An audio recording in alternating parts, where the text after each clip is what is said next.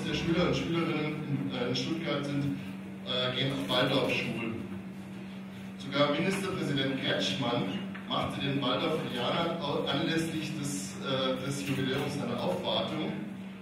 Ähm, wird das Ganze von weitgehend unkritischem Mediengetöse. Ein Zitat aus der Stuttgarter Zeitung. In der Eurythmie setzen die Schüler Sprache und Töne in Bewegung um. Es ist also kein Witz, dass sie ihren Namen tanzen können. Der Gründervater und Vordenker Rudolf Steiner zeichnete sich durch verquastes Denken und abstruse Theorien aus. Zum Beispiel, dass sich der menschliche Kehlkopf irgendwann im Laufe der Entwicklung zum Geschlechtsorgan umwandeln würde. Kein Scherz. Ich, das, das, reicht schon. Mehr, mehr mache ich nicht. Aber Steiner propagierte auch offenen Rassismus, als er zum Beispiel schrieb, der blonde Blauäugige ist dem dunkelhaarigen Braunäugigen intellektuell überlegen, weil bei letzterem zu viel Geisteskraft in die Pigmentierung fließt. Aus dem steinerischen Denken speist sich letztendlich auch das pädagogische Konzept der Waldorfschulen und damit sind wir beim Thema des heutigen Abends. Wir haben zwei hochkarätige Referenten von weit her geholt, die uns das Thema äh, erklären. Oliver Rautenberg, der sich als Blogger zu dem Thema einen Namen gemacht hat, und André Sebastiani, Autor sehr kenntnisreicher Bücher. Hat. Da ist der äh, deutsche Idealismus mit drin, da sind Elemente von Goethe drin, Goethes Fahrlehre, die Gnosis ist da drin, Teile von christlicher äh, Mystik, aber auch von fernöstlichen Lehren. Da steckt Hinduismus und Buddhismus mit drin, äh, gewürzt mit ein bisschen Freimaurertum. Also es ist eine große esoterische Melange, eine Mischung ähm, bis hin zu Science-Fiction-Elementen, die man so auch in äh, ja, Groschenromanen finden würde. Ähm, und was die möchte, die Anthroposophie, ist, sie will eine spirituelle Weltanschauung sein, eine ganzheitliche Betrachtung des Menschen. Was immer ganzheitlich sein soll. Schwer zu definieren. Ähm, eine kosmologische Betrachtung des Menschen. Es geht ganz viel um den Kosmos und die Welt und wie sich der Mensch in der Welt spiegelt und wie der Kosmos auch wiederum anders um den Menschen spiegelt. Da kommen wir noch ein bisschen zu, das ist ein bisschen, äh, bisschen kompliziert. Es ist in der Außenwirkung immer nicht so klar. Ist es eine Weltanschauung? Ist es vielleicht eine Glaubensgemeinschaft? Ist es, hat es religiöse Züge? Ist es eine Religion? Ähm, oder härtere Kritiker sagen, es hat sektenhafte Züge. Haben wir das heute gelesen? Heute kam ein Artikel in der Süddeutschen Zeitung, ähm, der in der Überschrift gesagt hat, die Waldorfpädagogik sei wie eine Sekte. Und das hat nicht der Autor des Artikels äh, gesagt, Nein. sondern das hat äh, ein ehemaliger Waldorf-Schüler, äh, Sohn einer Waldorf-Lehrerin und auch ehemaliger Waldorf-Lehrer gesagt, nämlich Nicholas Williams. Ja, der Nicholas Williams, der war Waldorf-Lehrer an mehreren Schulen, äh, kennt also auch verschiedene Einsichten, nicht nur eine Sichtweise an einer Schule und der ist halt zu diesem Urteil gekommen. Vielleicht kriegen wir im Laufe des Abends raus, was dahinter steht. Der Ursprung sollten wir vielleicht noch äh, ganz kurz sagen. Der direkte Ursprung ähm, liegt nicht äh, nur im Fernen Osten, sondern noch ein bisschen konkreter in der Theosophie. Äh, Helena Blavatsky ist vielleicht einigen ein Begriff, das wollen wir jetzt aber vielleicht nicht, äh, nicht vertiefen. Steiner war dann jedenfalls eine Zeit lang Vorsitzender der Theosophischen Gesellschaft und dann kam es da zum Bruch und er hat äh, seine eigene Weltanschauung gegründet, das war dann die Anthroposophie. Ja, die Anthroposophie ist ja im Wortsinn eine, eine okkulte Lehre, eine Geheimlehre. Das ist ein ganz wesentliches Merkmal der Lehre, ähm, dass es quasi ein Geheimwissen ist, was vom äh, Meister oder vom Gelehrten zum Schüler immer weitergegeben werden muss. Ähm, und fällt mir gerade ein, haben wir noch gar nicht besprochen, das ist zum Beispiel bei Demeter so, die biodynamische Landwirtschaft, mhm. ist ja auch ein Praxisfeld, die galt ganz viele Jahrzehnte als geheim.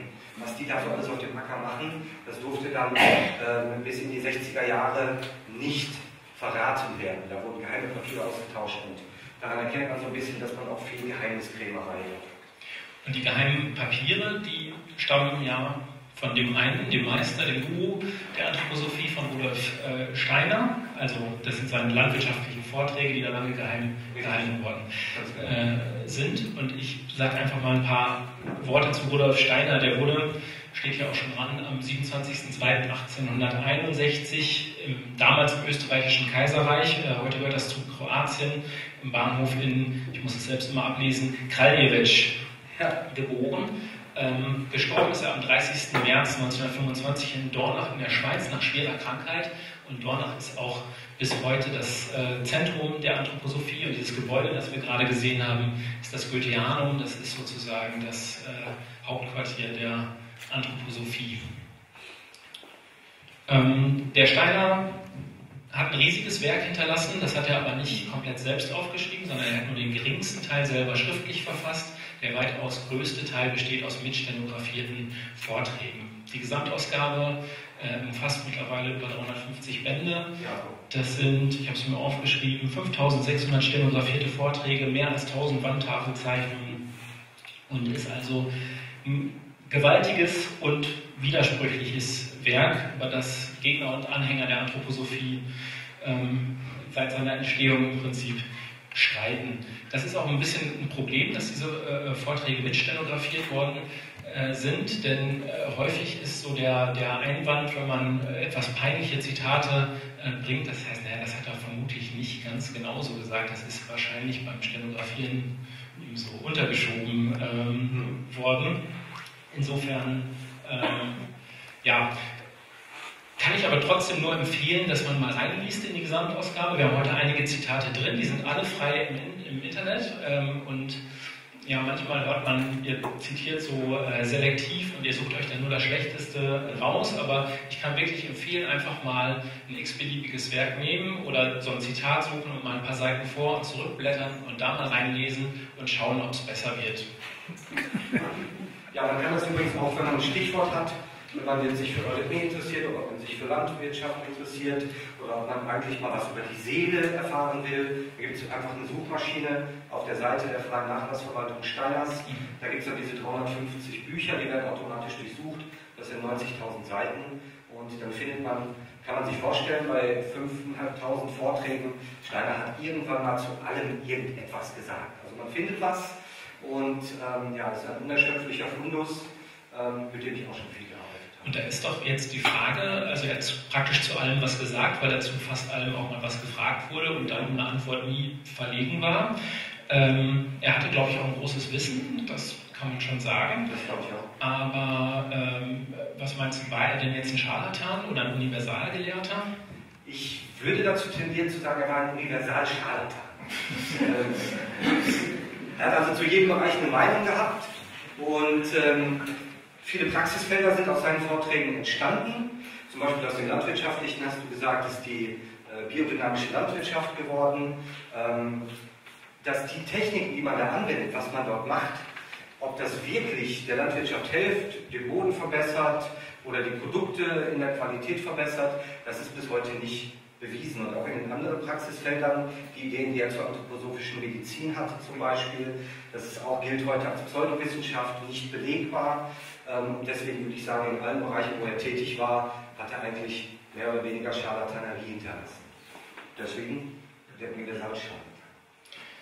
Eine andere Frage wäre, kann es sein, dass er vielleicht ähm, ja, geisteskrank war, dass er psychisch vielleicht nicht ganz gesund war, ist auch eine Spekulation, die man ähm, häufig hört finde ich nicht ganz seriös zu beantworten, aus dem, also ohne ihn untersucht zu haben. Man hat heute die Schriften und man weiß nicht, ähm, hat er versucht, den Leuten vom Pferd zu erzählen, hat er selber wirklich dran geglaubt. Ich glaube, dass er zum Ende hin vermutlich immer mehr dran geglaubt hat, mhm. äh, an sich selbst, so wie heute viele Anthroposophen auch sehr überzeugt sind von dem, was ja. sie da sagen. Ähm, und ich glaube, wenn man meint, also ist er Scharlatan oder Psychopath, würde ich sagen, vielleicht sowas wie ein Charlopath, um ja, so eine vielleicht eine Mischung ähm, zu haben. Ähm, kommen wir aber vielleicht zur Frage Religion, Wissenschaft. Also Steiner selber bezeichnet ähm, die Anthroposophie als Geisteswissenschaft.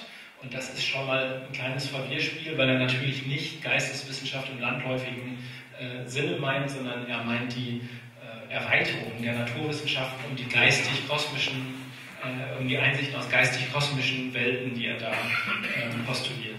Ja, viele, viele echte Geisteswissenschaftler zucken da natürlich zusammen.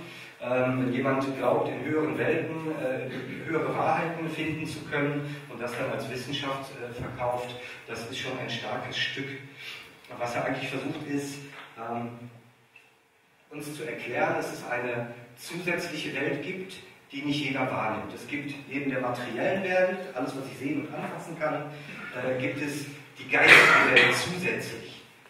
Und so hat er es ja auch in seinen, in seinen Praxisfeldern quasi äh, betrieben. Er hat den Medizinern gesagt, du siehst gar nicht alles, ich sehe es ganzheitlich. Ja, du siehst immer nur, was vor deinen Augen ist, aber es gibt ja noch ganz andere Dinge, die du noch nicht wahrnimmst. Er versucht also immer zu erweitern, so heißt es ja auch zum Beispiel die anthroposophische erweiterte Medizin, einen ganzheitlichen Blick zu haben, der dann immer kosmisch ähm, Erkenntnisse über den Menschen haben, äh, ziehen will, haben will. Und man merkt, da ist so ein elitäres Element drin, also man hält sich für höher stehend, man hat höhere Einsichten als die normalen Menschen. Manchmal wird man ein bisschen milde belächelt, wenn man mit Anthroposophen diskutiert, weil man ja leider noch nicht auf der Erkenntnisstufe ist, ähm, die diese Menschen erreicht zu haben, glauben. Ja. Und ähm, wir haben da ein Zitat vom äh, Steiner, das ich ganz, äh, ganz gut finde. Da haben wir jetzt zum ersten Mal so ein O-Ton vom Steiner und kriegt auch so ein bisschen vielleicht ein Gespür dafür, wie ähm, er sich sprachlich so ausgedrückt hat. Und er hat so ein Beispiel vom Fisch, der ähm, an die Grenze des Wassers stößt und das ist äh, für ihn so das Bild dafür, wie der Mensch an die Grenze seiner Wahrnehmung stößt und darüber eigentlich nicht hinaus kann. Fisch kann vor allen Dingen nicht hinaus, der Anthroposoph kann es dann. Und er sagt, es gibt Menschen, die glauben, mit den Grenzen der Sinnesanschauung seien auch die Grenzen aller Einsicht gegeben. Würden diese aufmerksam darauf sein, wie sie sich dieser Grenzen bewusst werden, so würden sie auch in diesem Bewusstsein die Fähigkeiten entdecken, die Grenzen zu überschreiten. Der Fisch schwimmt an die Grenze des Wassers, er muss zurück, weil ihm die äh, physischen Organe fehlen, um außer dem Wasser zu leben. Der Mensch kommt an die Grenze der Sinnesanschauung, er kann erkennen, dass ihm auf dem Wege dahin die Seelenkräfte geworden sind, um seelisch in dem Elemente zu leben, das nicht von der Sinnesanschauung umspannt wird. Wir fragen das hinterher ab.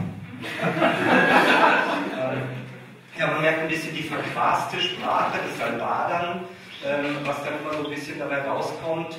Ich glaube, dass er ähm, natürlich zu allen Themen gefragt wurde und eine Meinung haben musste. Und dann labert er sich manchmal so ein bisschen in die Themen rein, bis er so richtig seinen Faden findet. Aber es ist teilweise sehr, sehr schwer zu lesen. Man kriegt diese Sätze gar nicht gepasst im Gehirn. Man muss das mehrfach lesen und dann hat man vielleicht eine Idee, was er gesagt haben könnte. Jetzt ist die Frage, diese geistige Welt, die man dann mit den geistigen Organen, die man so ausbildet durch den anthroposophischen Schulungsweg, wenn man auf die zugreift, ist die eigentlich unbevölkert? Nein, die ist nicht unbevölkert, also es gibt diese zusätzliche geistige Welt, die man wahrnehmen kann. Du hast gesagt, da gibt es einen Schulungsweg, wie man das erreichen kann. Ähm, Steiner hat gesagt, man müsste seine Geistorgane ausbilden. Das heißt, man, wenn man mit äh, genügend Training an die Sache rangeht, kriegt man quasi zusätzliche höhere Organe. Die kann man sich jetzt nicht äh, vorstellen, wie da wächst eine zweite, dritte Leber oder irgendwas, sondern äh, das ist ein, ein geistiges Organ, das entsteht durch einen Meditationsweg, durch äh, intensive Naturbetrachtung zum Beispiel. Da gibt es so Dinge, dass man ganz lange auf eine lebende Pflanze schaut oder ganz lange auf eine tote Pflanze und durchmeditiert, welche Unterschiede die beiden wohl haben könnten. Und dann schafft man es, diese Geistorgane auszubilden und dann kann man die höheren Welten vielleicht am Ende sehen. Und welche Wesen sieht man dann? Es gibt ganz, ganz viele verschiedene geistige Wesen, die wir nicht wahrnehmen. Dazu gehören unter anderem äh, Engel und Erzengel natürlich natürlich die christlichen Einflüsse der Lehre. Ähm, es gibt Elementarwesen, es gibt Dämonen, es gibt ähm, Feuergeister, Forstriesen, Undinen, Sylphen, Gnome, Wichtel.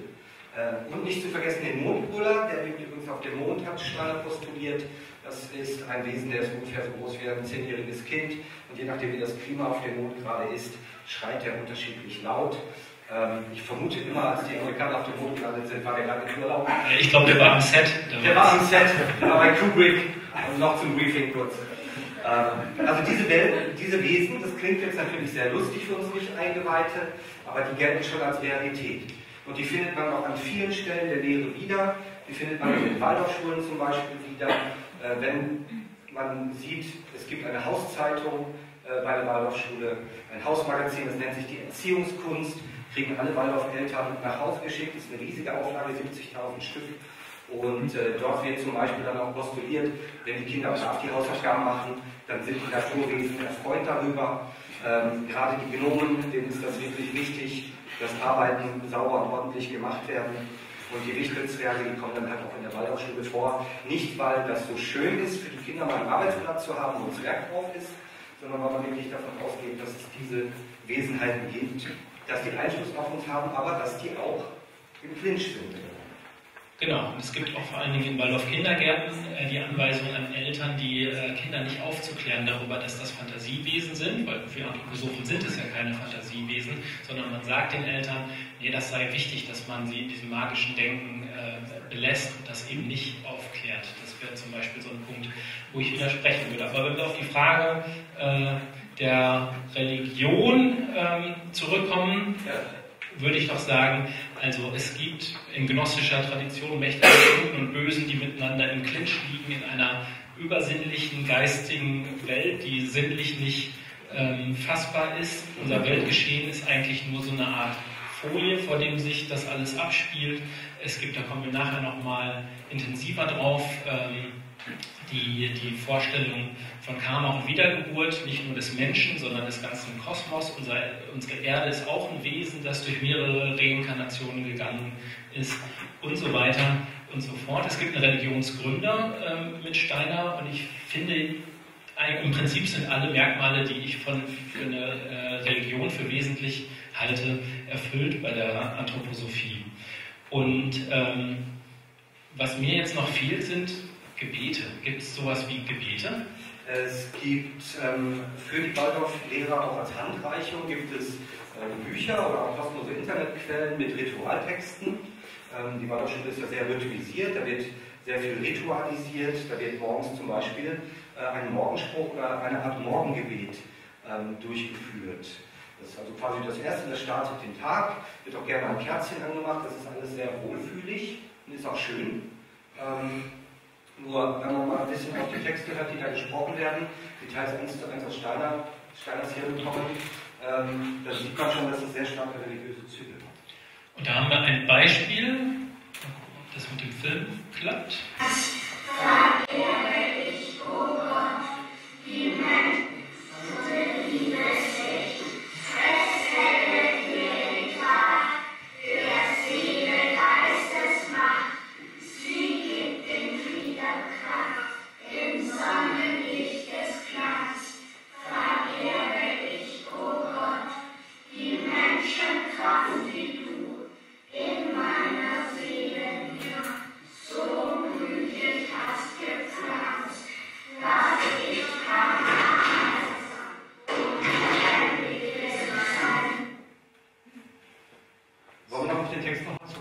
Genau. Der Sonne liebes Licht, es hellet mir den Tag, der Seele Geistesmacht, sie gibt den Gliedern Kraft. Im Sonnenlicht des Glanz verehre ich, o oh Gott, die Menschenkraft, die du in meine Seele mir so gütig hast gepflanzt, dass ich kann Arbeit sein und lernbegierig sein. Von dir stammt Licht und Kraft, zu dir strömen Lieb und Dank. Also danke, lieber Gott, dass du mich befähigst, äh, fleißig zu schaffen. Jetzt ist vielleicht der positive Aspekt an solchen Steiner Texten, dass wahrscheinlich kein Kind, das das gerade aufgesagt äh, hat, das überhaupt kapiert hat, was es da eigentlich gesagt hat. Dieses eine Mädchen konnte sich auch schwer wachhalten. Da, ne? Ja, es ist aber auch früh morgens und äh, da sind die noch nicht so fit. Okay, wir kommen zum Evolutionsgedanken äh, in der Anthroposophie. Der Mensch wird in der Anthroposophie zum Teil einer viel größeren Evolutionserzählung ich lege da inzwischen sehr viel Wert darauf, äh, von einer Evolutionserzählung zu sprechen, weil es äh, eine fiktive Evolutionsgeschichte ist, die mit der realen Evolution nicht viel zu tun hat. Und wie ich gerade schon gesagt habe, ähm, gibt es da das äh, Prinzip der Reinkarnation, nicht nur des Menschen, sondern auch. ja, alle Dinge, alle Dinge reinkarnieren quasi, werden wiedergeboren, ähm, haben neue Verkörperungen, erschaffen sich neu, vergehen und entstehen und so natürlich auch die Planeten äh, auch die Planeten reinkarnieren, auch die Erde reinkarniert, ist bereits reinkarniert und wird das noch häufiger tun. Also unsere Erde war vorher Saturn, Sonne und Mond. Und das ist jetzt eine Originalwandtafelzeichnung von Steiner? Richtig. Äh, zwischendurch war die Erde auch ähm, ein gemeinsamer Körper mit der Sonne und dem Mond. Also für Anthroposophen übrigens ist die Sonne ein Planet, der Mond auch. Ähm, die Erde war ein gemeinsamer Planet aus Sonne, Mond und Erde. Ähm, eine interessante Ableitung, die mir da immer einfällt, es wird in der anthroposophischen Medizin immer gerne mit Gold gearbeitet als Heilmittel und äh, das Gold ist eigentlich nur deswegen auf der Erde, weil das Gold verdichtetes Sonnenlicht ist. Das ist also quasi materialistisch gewordenes Sonnenlicht und das ist noch aus dieser Phase, als die Sonne noch mit der Erde ein Körper war und als sie sich abgespalten haben, gibt das Sonnenlicht als Gold und deswegen ist es besonders gut Zur Medizin können wir vielleicht noch ein, zwei Worte sagen. Genau, jetzt ist, glaube ich, der Text wahrscheinlich hinten nicht mehr so gut zu lesen, aber ich lese ihn ohnehin nochmal vor. Der Steiner sagte, gerade so wie der Mensch Verkörperung nach Verkörperung durchmacht, Metamorphose nach Metamorphose, so machen alle Wesen der Welt Verkörperung und Wiederverkörperung durch, vom kleinsten bis zum größten. Und auch ein solches Wesen wie unsere Erde selber ist, also ein planetarisches Wesen, macht Wiederverkörperung durch. Unsere Erde war nicht etwa schon als Erde entstanden, sondern ihr ging voran ein anderer Zustand. Und diese anderen Zustände und die zukünftigen Zustände, ja. die sehen wir hier. Das sehen wir natürlich in der Abfolge. Ähm, in der Mitte ungefähr, wo die Erde so umstrichelt ist, das ist der jetzige Zustand. Ähm, der Endzustand der Erde wird sein, wenn die Erde sich wieder reinkarniert, wird die Erde wiedergeboren als Planet Vulkan. Ich glaube glaub nicht, dass der Steiner den, den äh, Spock im Kopf hatte als, als Vulkanier. Der wäre zu logisch gewesen. Das glaube ich auch. Viel zu verkopft, Wesen. Bis dahin sind wir längst vergeistigt. Es ficht die Lehre auch übrigens nicht an, dass man äh, von diesem 100 Jahre alten Gedanken, dass es einen zusätzlichen Planeten Vulkan gar nicht gibt, das ficht die nicht an. Äh, das bleibt trotzdem Realität. Jetzt spielt die Zahl 7 eine Riesenrolle. Ja, das ist richtig. Also es gibt äh, diese Reinkarnation der Planeten. Ähm, ich muss ab und zu ein bisschen schauen, weil die Texte so schwierig sind. Ähm, die Zahl 7 spielt eine große Rolle auch bei der Reinkarnation der Planeten. Ähm, es gibt sieben Planeten im Planetensystem, das ist ja bekannt, ähm, die in sieben mal sieben Zuständen äh, sich evolutionieren werden und neu geboren werden. Oder wie der Geheimschüler sagt, es gibt sieben, sieben, sieben Verwandlungen des Planetensystems. Und gerade diese sieben als magische Zahl, die finden wir in der Anthroposophie ganz oft. Ähm, zum Beispiel geht man davon aus, dass die Kinder in den Waldorfschulen äh, alle sieben Jahre quasi weiter reinkarnieren. Ähm, in der anthroposophischen Kirche, die heißt Christengemeinschaft, geht man davon aus, dass der beste Führungskreis für die Kirchengemeinde äh, ein Siebenerrat ist. Und so findet man halt magische Zahlen mit okkulten Bedeutung an jeder Stelle. Zu dieser menschlichen Entwicklung, dieser Entwicklungspsychologie, ähm, da kommen wir nachher nochmal ein bisschen intensiver dazu. Ähm, jetzt ist es halt wichtig, wenn wir von der äh, Evolution der Planeten gesprochen haben, dass der Mensch natürlich genauso eine Evolution durchläuft, und zwar, weil der Mensch im, für sich genommen ein kleiner Kosmos ist. Und äh, ich finde, der Entziehungswissenschaftler äh, Klaus Pranger, der ist leider kürzlich verstorben, ähm, der hat da ein schönes Zitat dazu und er sagt, der Mensch ist im Kleinen ein Kosmos, der Kosmos im Großen ein Mensch, Welt, Natur und Geschichte sind ein genaues Pendant des Menschen, der Mensch deren Synthese en Miniatur.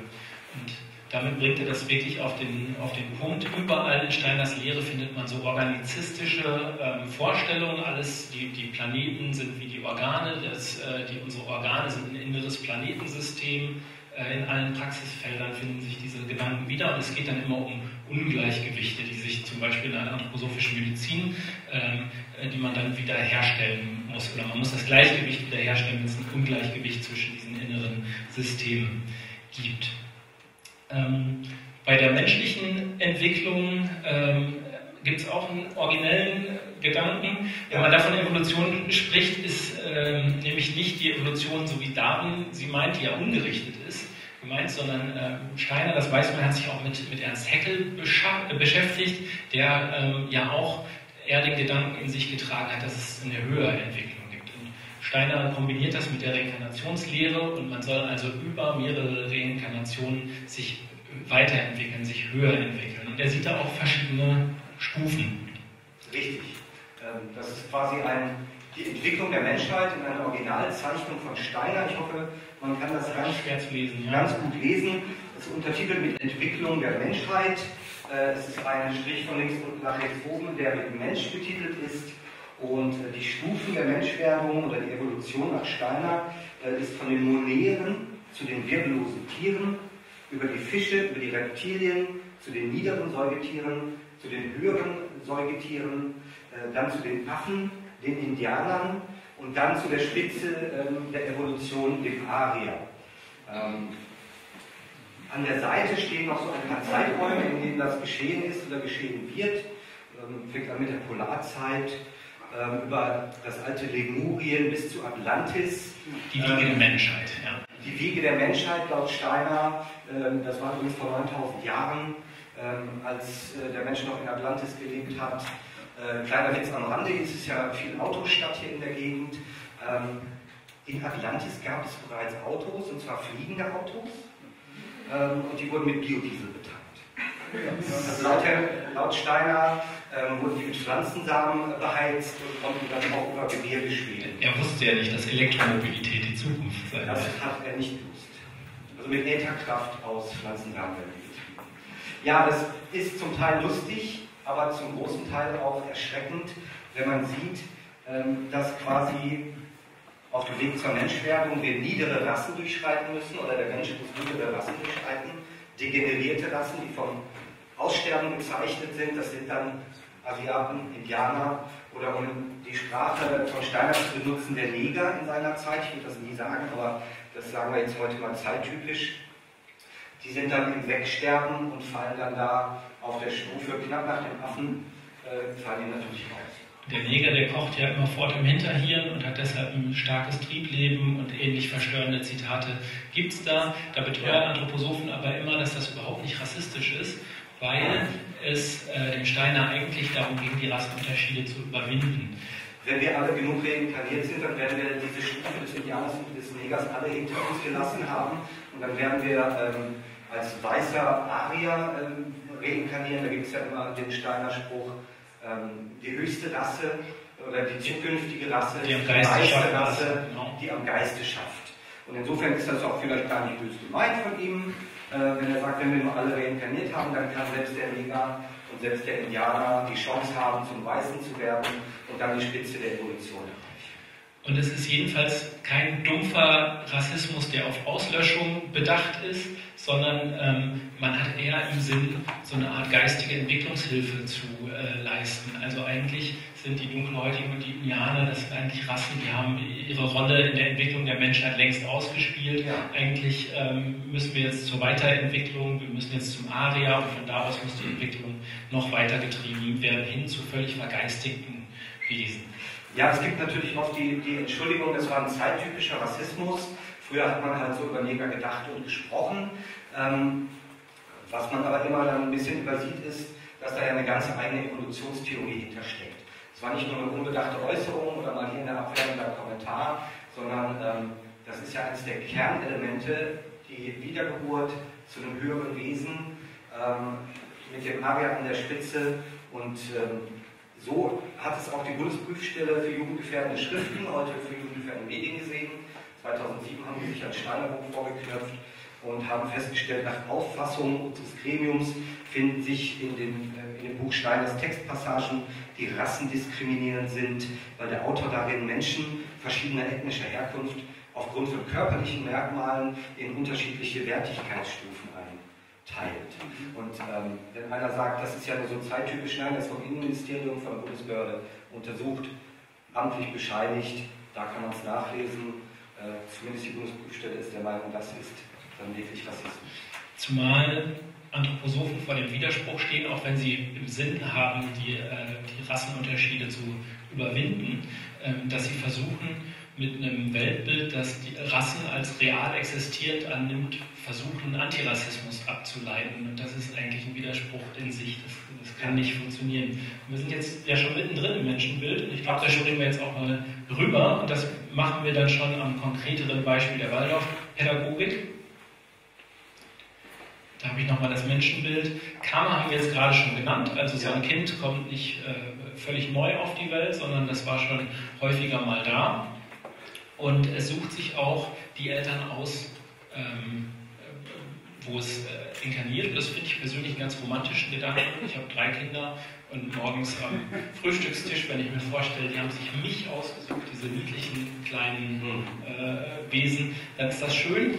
Ähm, es kann aber ganz schnell unappetitlich werden, wenn man an ähm, so Dinge wie Missbrauch oder, oder, Gewalt in Familien denkt, weil dann ist man schnell äh, bei, bei Schuldfragen, denn das Kind hat eigentlich selbst Schuld und es hat sich die Eltern ja ausgesucht, die es da äh, missbrauchen. Das ist etwas, was nicht so klar ausgesprochen wird. Wenn man das aber zu Ende denkt, steckt das eigentlich ganz klar drin. Und der Steiner sagt auch, dass sich Menschen, die in Elendsregionen zur Welt äh, kommen, auch das ausgesucht haben, weil sie im letzten Leben karmisch ähm, ein Ungleichgewicht hergestellt haben, das ausgeglichen werden muss. Und zum Beispiel kommt man dann in einer Gegend äh, zur Welt, in der es die Cholera gibt, und dann kann man äh, eine bestimmte, äh, kann man halt die Cholera bekommen und dadurch heilt man sein Karma ab und im nächsten Leben äh, wird es dann besser, dann ist es ausgeglichen. Aber wenn der Asiate nicht so materialistisch unterwegs wäre, wäre auch Fukushima nicht passiert. Genau. Äh, sowas liest man dann teilweise auch in anthroposophischen Zeitschriften, dass das natürlich die Karma-Rechnung ist, die die jetzt serviert bekommen für ihren Materialismus. Die Wesensglieder haben wir gerade schon mal angesprochen. Da sind wir nämlich in der Jahr-Siebte-Lehre. Da kommen wir wieder zu der magischen Sieben. Mach ich die? Ich mach. Mach du die. Ich mach die. Ja, also man geht davon aus, wenn das Kind auf die Welt gekommen ist, dann ist es noch kein fertiger Mensch. Es ist eigentlich nur Körper, nur ein physischer Leib. Es geht darum, dass wir in sieben Jahresschritten als Menschen zusätzliche Wesensglieder entwickeln. Ich finde diesen Ausdruck sehr sperrig. Man kann sich das vorstellen als Körperhülle oder ich finde es noch einfacher als Aura. Alle sieben Jahre wird eine neue Aura geboren. Und dann werden wir fertig reinkarniert immer in siebener Schritten. Ähm, das ist so, nach dem physischen Leib, den wir als Baby äh, sind, ähm, erhalten wir mit dem siebten Lebensjahr unseren Ätherleib, mit dem 14. Lebensjahr unseren Astralleib und das eigentliche Ich der Person oder die Seele entwickelt sich dann erst mit dem 21. Lebensjahr. Und da muss natürlich auch die Waldorfpädagogik darauf achten, dass man die Kinder entsprechend behandelt zu dem jeweiligen Entwicklungsstand, äh, den sie gerade erreicht haben. Also es ist ein Stufenmodell. Genau, das ist äh, letzten Endes leitet sich die anthroposophische ähm, Entwicklungspsychologie aus dieser Vorstellung ab. Ähm, wir haben, ähm, stopp, ich bin zu schnell. Ist schon eins Genau, da bin ich einen zu weit. Äh, wir haben im zweiten Jahr sieb, das ist ja das, was für die Schule besonders interessant ist, äh, wenn der Ätherleib geboren wird, nämlich mit sieben Jahren. Ähm, die Vorstellung, dass die Kinder in diesem Lebensalter besonders Nachfolge und Autorität bedürfen. Das sind laut Steiner die Zauberworte der Erziehung. Ähm, bis zum 14. Lebensjahr soll alles, was gelernt wird, aus Liebe und Autorität zur Lehrkraft gelernt, äh, gelernt werden. Er sagt halt auch, es handelt sich nicht darum, dass das Kind über alles sofort ein Urteil bildet, sondern dass es zwischen dem 7. und 15. Jahre das, was es aufnehmen soll, aufnimmt aus Liebe, aus Autorität zum Erzieher. Eigenständiges und kritisches Denken ist dabei unerwünscht. Man soll sogar seine, seine, seinen Kopf gar nicht zu sehr anstrengen und zu sehr in kritisches Denken ähm, verfallen. Und äh, er bringt da noch ein manipulatives Element ins Spiel, das ich gerade schon mal etwas vorzeitig angeworfen habe. Er sagt, es gibt kein gesundes Denken, dem nicht ein auf selbstverständlichen Autoritätsglauben gestütztes, gesundes Empfinden für die Wahrheit vorangegangen wäre. Und das vielleicht mal ein zweites Mal lesen und einen Moment sacken lassen, dann äh, merkt man, was er da eigentlich sagt. Ja, es gibt kein gesundes Denken. Du kannst als Kind nicht gesund denken wenn du nicht selbstverständlich äh, an die Autorität des Lehrers glaubst, vielleicht sogar die Kritik äußerst, das kann sehr schädlich sein. Und äh, so erkenne ich die Wahrheit natürlich. Ähm, man fragt sich schnell, ob das heute noch eine Rolle spielt. Das sind alles Bilder, die er vor 100 Jahren entwickelt hat. Ähm, Gibt es das heute noch in der Waldorfschule? Und ähm, da empfehle ich immer mal einen Blick in die Lehrpläne, die sind teilweise im Internet auch kostenlos erhältlich. Ähm, und da liest man das dann zum Beispiel steht im offiziellen Lehrplan der Waldorfschulen in Österreich, äh, den im dritten Jahrhundert frei werdenden, noch sehr ungeordneten und unkontrollierbaren Seelenkräften muss Raum geschaffen werden. Und wir als Grundlage in der Waldorfpädagogik haben elaborierte Auffassungen über die leibliche und innere Wesenheit des Menschen, über die Wesensglieder und diese sind dem Leib als Instrument zugeordnet. Wenn ihr das jetzt nicht verstanden habt, das ist nicht schlimm. Ähm, Das steht im Lehrplan der Waldorfschule. Die Wesensglieder, die Seelenkräfte, der Ätherleib, der Astralleib. Ich persönlich weiß nicht, was das in dem Lehrplan zu tun hat, aber die werden sich was darüber reden. Im deutschsprachigen äh, Lehrplan, der Lehrplan nach Richter, der da häufig genommen wird, ähm, findet sich das nicht so explizit, mhm. aber wenn man die Konzepte kennt, dann erkennt man sie auch wieder. Zum Beispiel äh, wird äh, der Stoff genauso aufgebaut, wie Steiner das ähm, vorsieht und wie es der Entwicklung der Kinder eben nach diesen Konzepten ähm, entspricht. Und jetzt haben wir mit der siebte Lehre so eine Einteilung der Kinder nach Lebensalter. Ich sage ja. gerne, das sind so Schubladen, wo die Kinder drinstecken. Kann sich der Lehrer auch gut daran orientieren, kann er sagen, was mache ich zu welcher Zeit. Genau. In der Unterstufe ist eher das. Aber, aber, es ist, aber es ist ja individuell und ganzheitlich. Und deshalb bleibt es natürlich nicht nur bei der Schublade, sondern in der Schublade finden sich noch verschiedene Fächer für die Charaktere, die die Kinder haben. Und das sind die Temperamente. Die Temperamente-Lehre, die geht ja zurück aufs Altertum, ähm, auf die Vier-Säfte-Lehre des Hippokrates. Ähm, und damit schon zweieinhalbtausend Jahre auf dem Buckel, äh, die Lehre. Ja, und auch zu Steiners Zeiten selbstverständlich längst überholt. Nichtsdestotrotz wird bis heute behauptet, dass sich Kinder in diese vier Grundtemperamente ähm, einteilen lassen mhm. und so werden sie dann nach Lebensalter und nach äh, erkanntem Temperament ähm, durch den Waldorflehrer behandelt. Die vier Temperamente sind Choleriker, Melancholiker, Phlegmatiker und Sanguiniker. Das ist, äh, sind Bilder, die findet man der, auf der Wikipedia äh, von einer Hauswand in Frankfurt ja, gar nicht so weit weg von äh, hier. Ähm, auf der ganz linken Seite der Choleriker, der sieht schon so ein bisschen missmutig aus. Als zweites der Melancholiker, der so ein bisschen äh, in die Gegend starrt. Als drittes der Sanguiniker und der Dicke am Ende ist selbstverständlich der Phlegmatiker. Ähm, was macht diese Einteilung aus? Was, was gibt es da für vier Typen, wo man Kinder einteilen kann? Naja, also es gibt ein dominierendes Temperament und manchmal noch Anteile der anderen, ähm, der anderen Temperamente. So ein bisschen stelle ich mir das immer vor wie äh, Sternzeichen und Aszendent. Ähm, der äh, Steiner sagt über den Choleriker, ähm, er sei leicht, leicht reizbar und vom Ich-Leib beherrscht und dadurch ist der Choleriker sehr selbstbewusst. Steiner sagt weiter, die Säuglinge mit ihrem Zappeln, gerade wenn sie gesund sind, so zappeln sie viel, sind alle cholerisch. Das cholerische Kind aber behält etwas zurück vom Toben und Wüten des ganz kleinen Kindes. Dadurch lebt in dem cholerischen Kinde, dem acht-, neunjährigen Knaben oder Mädchen drin, immer noch der kleine Säugling weiter. Dadurch ist dieses Kind cholerisch und man muss versuchen, dieses cholerische Kind dadurch zu behandeln, dass man das kleine Kind, das darin ist, wenig zur Ablehnung bringt. Das macht man gerne, indem man Choleriker neben Choleriker setzt. Es ist nämlich ähm, eine, äh, es gibt eine Sitzordnung, die vorgesehen ist nach erkanntem Temperament in der Waldorfschule und das ist mir auch äh, häufig schon bestätigt worden, dass man sehr gute Erfahrungen damit macht und die Choleriker sitzen alle zusammen und weil die ja äh, nicht so richtig äh, still sitzen können, dann wird man ständig von dem Choleriker nebenan angerempelt und ärgert sich darüber, dass der einen immer anrempelt. Da siehst du mal, wie das ist. Und dann sieht man nämlich mal, wie das ist und dann hört man auf, damit so zu sein, weil man gemerkt hat, wie das ist, wenn man so ist. Offenbar. Also wir haben, wir haben eine sehr, sehr schematische, ein sehr vereinfachtes Blick auf, auf das Kind und ähm, immer wenn ich einen Waldorf-Werbespruch lese wie ähm, wir behandeln Ihr Kind ganz individuell, dann ist es so, es gibt vier Arten von Individuen und so behandeln wir das Kind. Ja, da würde der Waldorf-Lehrer jetzt sagen, ja, aber vielleicht hat er ja auch noch diesen Aszendent und hat auch noch eine Spur als Phlegmatiker, vielleicht ist er zusätzlich noch cholerisch.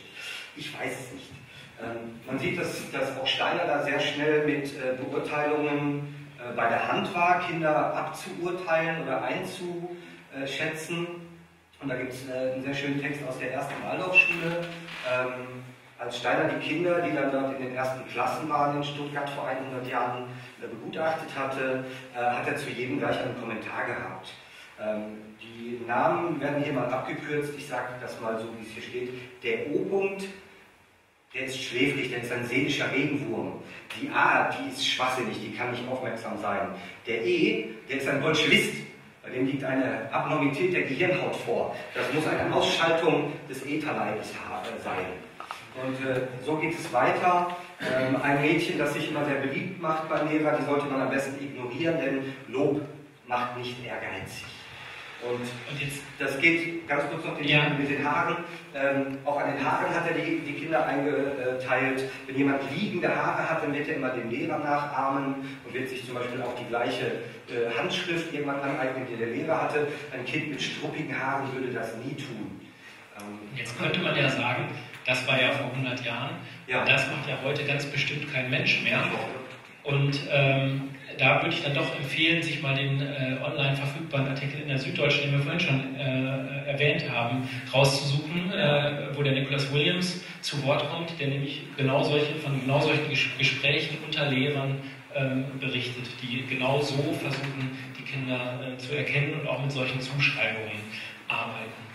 Ohnehin, selbst wenn man das nicht in so einem Extrem betreibt, sehe ich da ein bisschen die Gefahr darin, dass mir die Kinder auf dieses vermeintliche Temperament festlegt, was sie da zeigen. Ich sehe gar keinen Sinn darin, das zu tun. Ich kann doch äh, gucken, was das Kind eigentlich macht. Ich muss doch keine besondere Behandlungsform dafür ähm, haben. Ich habe immer ein bisschen die Sorge, dass das schnell zur self-fulfilling prophecy werden kann für so Kinder, wenn der Waldorflehrer mit äh, der priesterlichen Sicht eines kleinen Gottes, sage ich mal, äh, bestimmt, wie dieses Kind zu sein hat.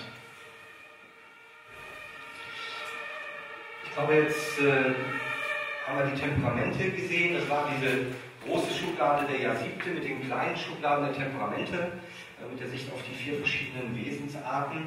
Ähm, Jetzt gibt es noch etwas Zusätzliches, nämlich wir alle machen uns auf die Reise und in unserer Entwicklung vollziehen wir die Entwicklung der Menschheit nach. Die ist selbstverständlich streng eurozentrisch. Ähm, und der Steiner sagt im 10. Jahr, nein, der Steiner sagt es nicht, sondern Rudolf Grosse, einer der ersten Waldorflehrer, ähm, der sagte, im 10. Jahr ist das Kind Germane, dann Grieche, dann absolviert es die Wanderung vom Osten bis ans Mittelmeer und wird als Zwölfjähriges ein Römer, im 13. Jahr ein Ritter, ein Klosterbruder, ein Kolumbus in äh, Amerika entdeckt und zieht als 14-Jähriger mit Napoleon nach Russland und ist mit der Geschlechtsreife in seiner Gegenwart angekommen.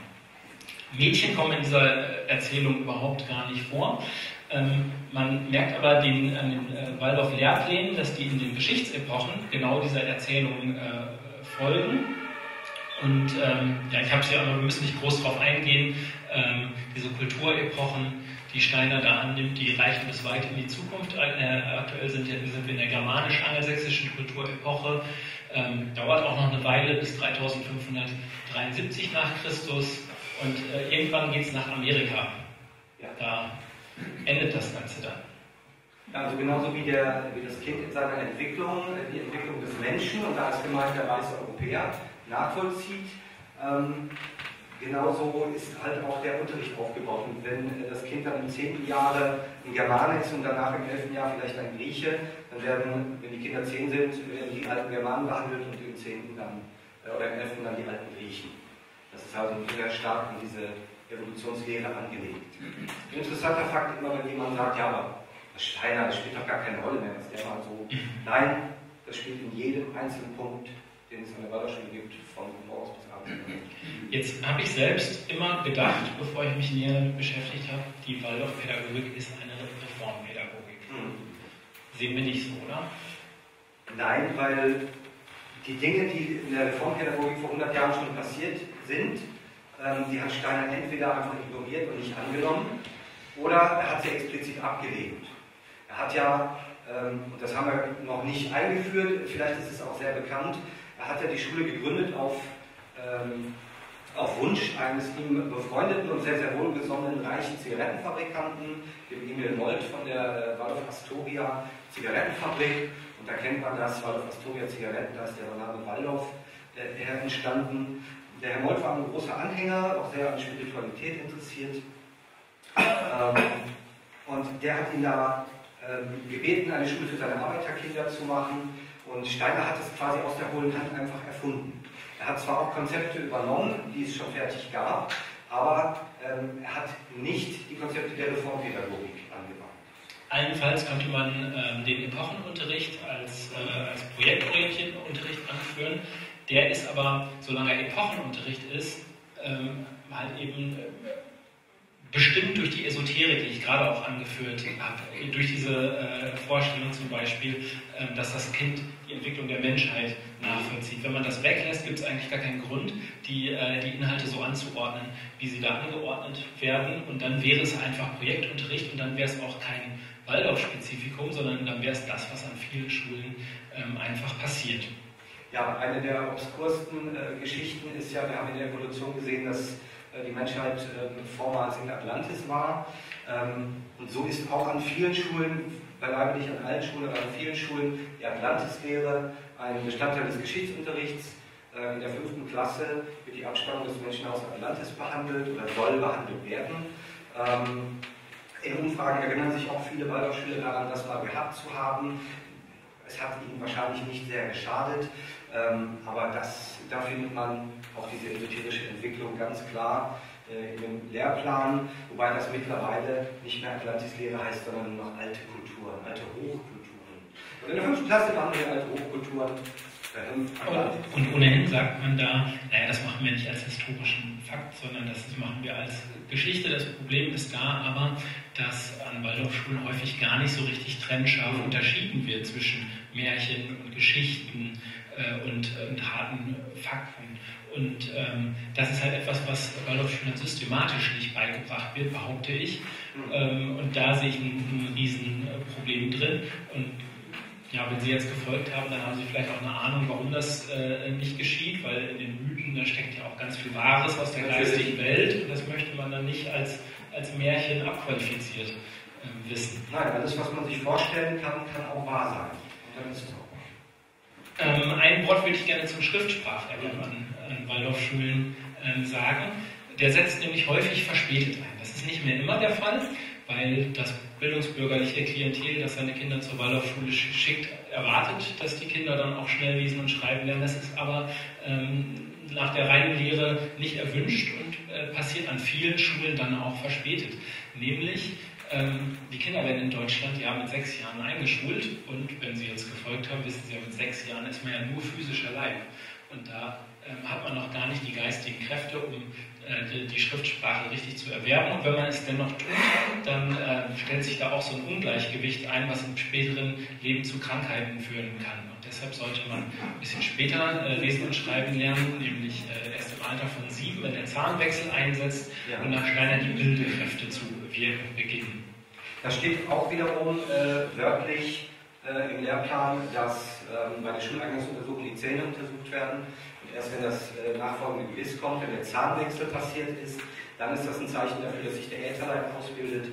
Und bevor dieser Zahnwechsel nicht da ist, sollen die Kinder nicht lesen und schreiben lernen. Und es ist auch nicht förderlich, wenn man das zu Hause schon geübt hat. Das soll nicht sein. Ähm, dann und wird halt so wird halt ein bisschen was vom Pferdemarkt. Ja, und, und dabei habe ich aber gelegentlich auch äh, Kinder selbst als Lehrer in der ersten Klasse, die kommen natürlich, die können das schon.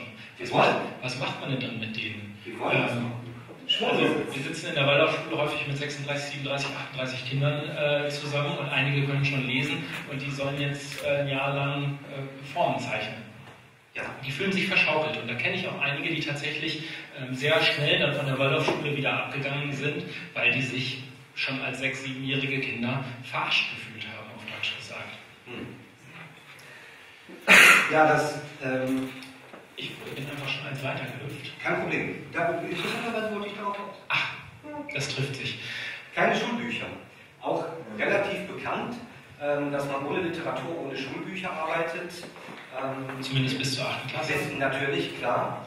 Ähm, und ich weiß nicht, ob wir da vorausgeschickt haben, dass natürlich nicht jede Waldorfschule eins zu eins ist wie jede andere Waldorfschule. Ich finde, man muss immer so ein bisschen den äh, Blick darauf haben, was ist denn von der, von der Leitung zum Beispiel von den Bund der Waldorfschule in Deutschland äh, gewünscht? Wo soll die Reise denn hingehen? Damit wird man nicht verhindern können, der Bund hat da keinen Einfluss, ob irgendwo eine Schule ist, wo ein liberaler Lehrer ist, der sagt, das mache ich aber anders oder ich bringe jetzt doch mal ein Buch mit. Das kann man nicht ausschließen, aber gewollt ist es nicht, sondern die reine Lehre soll nur vom Lehrer zum Schüler weitergegeben werden. Da haben wir wieder dieses Ding mit dem ja, mit dem geheimen Wissen, was der Guru oder der Lehrer hat, Und, und aus Autorität und Liebe zum Erzieher äh, soll gelernt werden, deshalb soll auch alles durch den Lehrer oder Erzieher geflossen sein, was an das Kind herangetragen wird. Und du hast natürlich völlig recht, das kann im Einzelfall auch ganz anders gehandhabt werden. Man kann aber schon sagen, also der Bund der Freien Waldorfschulen hat die Namensrechte. Ja. Und äh, wenn es Schulen gibt, die da allzu sehr ausscheren, dann ist es auch schon vorgekommen, dass dann halt äh, der Name Waldorf nicht mehr an der Tür stand. Nein, es muss natürlich die reine Lehre sein und äh, wenn das nicht praktiziert wird, dann ist der Name auch weg unter Umständen. Das ist durchaus schon mal passiert. Genau, also es gibt Freiheiten, aber diese Freiheiten haben dann auch wieder Grenzen. Ein weiteres, äh, ja, ich weiß gar nicht, ob es ein Vorurteil ist, aber äh, ja. Man sagt ja immer, an Waldorfschulen wird die ästhetische Erziehung sehr hoch gehängt. Und ich glaube, an dem Punkt ist vielleicht auch am ehesten wirklich was dran. Da ist wirklich was dran. Ähm, es wird sehr viel gehandwerkt, es wird sehr viel gemalt, hergestellt. Ähm, es gehört teilweise auch noch äh, Steinmetzen und Fadenspinnen und äh, natürlich auch Gartenbau und ähnliche Dinge äh, mit zum Unterrichtsinhalt. Das ist ein ganz, ganz wichtiger Punkt. Es wird sehr viel Wert auf Musisches gelegt, sehr viel Wert auf Künstlerisches gelegt, ähm, natürlich nicht zuletzt auch auf den Tanz. Ähm, der ja vielfach so belächelt wird, als ah, die Waldorfschüler tanzen ihren Namen. selbst weder die Waldorfschüler können das mehr, noch die Waldorfkritiker. Ähm, man muss vielleicht noch mal einen Schritt weiter dahinter schauen ich sage immer, warum ist das ein Witz? Warum ist das kein Warnsignal? Ach ja, da gibt es eine Schule, da tanzen die alle in so Seidenkleider und machen ihren, tanzen ihren Namen. Ähm, das eignet sich für mich nicht so als Witz, sondern eher als Warnung. Ähm, da mal hinzugucken, was machen die und warum machen die das? Weil es keine Schule ohne Eurythmie geben kann, denn dann hätten die die Namensrechte nicht mehr. Absolut nicht. Steiner war da ganz eisern. Eurythmie ist Pflicht, die muss gemacht werden. Wer da als Kind nicht teilnimmt, der fliegt von der Schule. Ähm, und es ist daher auch das unbeliebteste Fach äh, an äh, Waldorfschulen. Man kann sich vorstellen, wenn man 14-jähriger pubertierender Junge ist, hat man keinen Bock, im Seidenkleid vor der Klasse einen Tanz aufzuführen. Ähm, und deswegen ist das immer so der Knackpunkt, wo sich die Kinder auch dran reiben, aber es wird nicht ohne gehen. Genau, dann glaube ich Eurythmie gleich auch noch als Extrapunkt. Was tatsächlich sehr viel äh, stattfindet, sind Theateraufführungen, äh, Rezitationen äh, von Texten. Und ich ich persönlich glaube, da ist dann auch am ehesten eine Stärke zu, äh, zu sehen, denn ähm, das habe ich schon häufig gesehen, ähm, dass die das auch wirklich ganz gut machen. Da haben wir noch ähm, den kleinen Einwand. Natürlich ist das auch sehr, sehr streng und sehr, sehr vorgegeben, was da zu tun ist. Zum Beispiel gerade ähm, bei den Zeichnungen, die die Kinder anfertigen, oder die machen viel Nass in Nassmalerei. Ähm, da gibt es ganz vorgegebene Farben, die sie dann zu benutzen haben. Es gibt vorgegebene Formen, die sie abzubilden haben. Und wenn man am Ende dann die alle an der Wand sieht, ähm, die Bilder, die die Klasse erstellt hat, wird man sehen, dass die fast alle identisch aussehen. Alle ganz schön. Als ich das erste Mal in eine Waldorfschule reinkam, fand ich das auch wirklich sehr nett, so wie wahrscheinlich viele Eltern auch, die das erste Mal eine Waldorfschule betreten. Und als ich in die nächste ging, dachte ich, äh, Komisch, die haben sich die Bilder von einer anderen Waldorfschule ausgeliehen. Und als ich äh, immer mehr Waldorfschulen gesehen habe, habe ich kurz an eine Wanderausstellung gedacht. Aber inzwischen merke ich, nein, die malen tatsächlich die vorgegebenen Bilder und die sehen immer gleich aus. Da ist eigentlich nichts Kreatives äh, wirklich drin, sondern da wird eigentlich nur nachgeahmt, was, äh, was der Meister da vorgegeben hat. Das ist durchaus so gewollt und ist auch weltweit so. Da wird die gleichen Bilder auch in äh, ähm, also ja, es wird den Kindern sehr viel beigebracht, mit den Händen zu tun, ähm, auch Maltechniken kennenzulernen, das ist alles ganz wunderbar. Ich wünschte auch, das wäre in der Regelschule besser. Ähm, aber es ist natürlich auch immer ein esoterischer Hintergedanke und es ist auch immer ein sehr starres Konstrukt. Es geht nicht darum, dass jeder das malt, was er möchte, sondern jeder malt das, was die Lehrerin will und je perfekter er das macht, desto besser ist das. Einwand, dass an Waldorfschulen Anthroposophie ja gar nicht unterrichtet wird. Ja, das kann man auch in Waldorfschulen, Bullshit-Bingo wahrscheinlich nicht mitpacken, weil wenn es Kritik an den Waldorfschulen gibt, und ja, die kommt doch da aus der Ecke von diesem Hellseher, äh, der hat doch da diese Weisheit Anthroposophie, äh, nicht, dass ihr den Kindern das beibringt, dann sagen die, nein, das gibt es bei uns nicht. Wir haben hier keine Anthroposophie, das ist ja auch kein Unterrichtsfach. Und das ist immer so ein bisschen eine Schutzbehauptung. Ähm, was ich immer sage, die Anthroposophie durchdringt jeden Bereich. Ähm, die, durch, das fängt an mit dem Gebäude, dass nach anthroposophischer Bauweise keine rechten Winkel haben darf. Weil rechte Winkel sind sehr unnatürlich, die kommen in der Natur nie vor, sagt Steiner.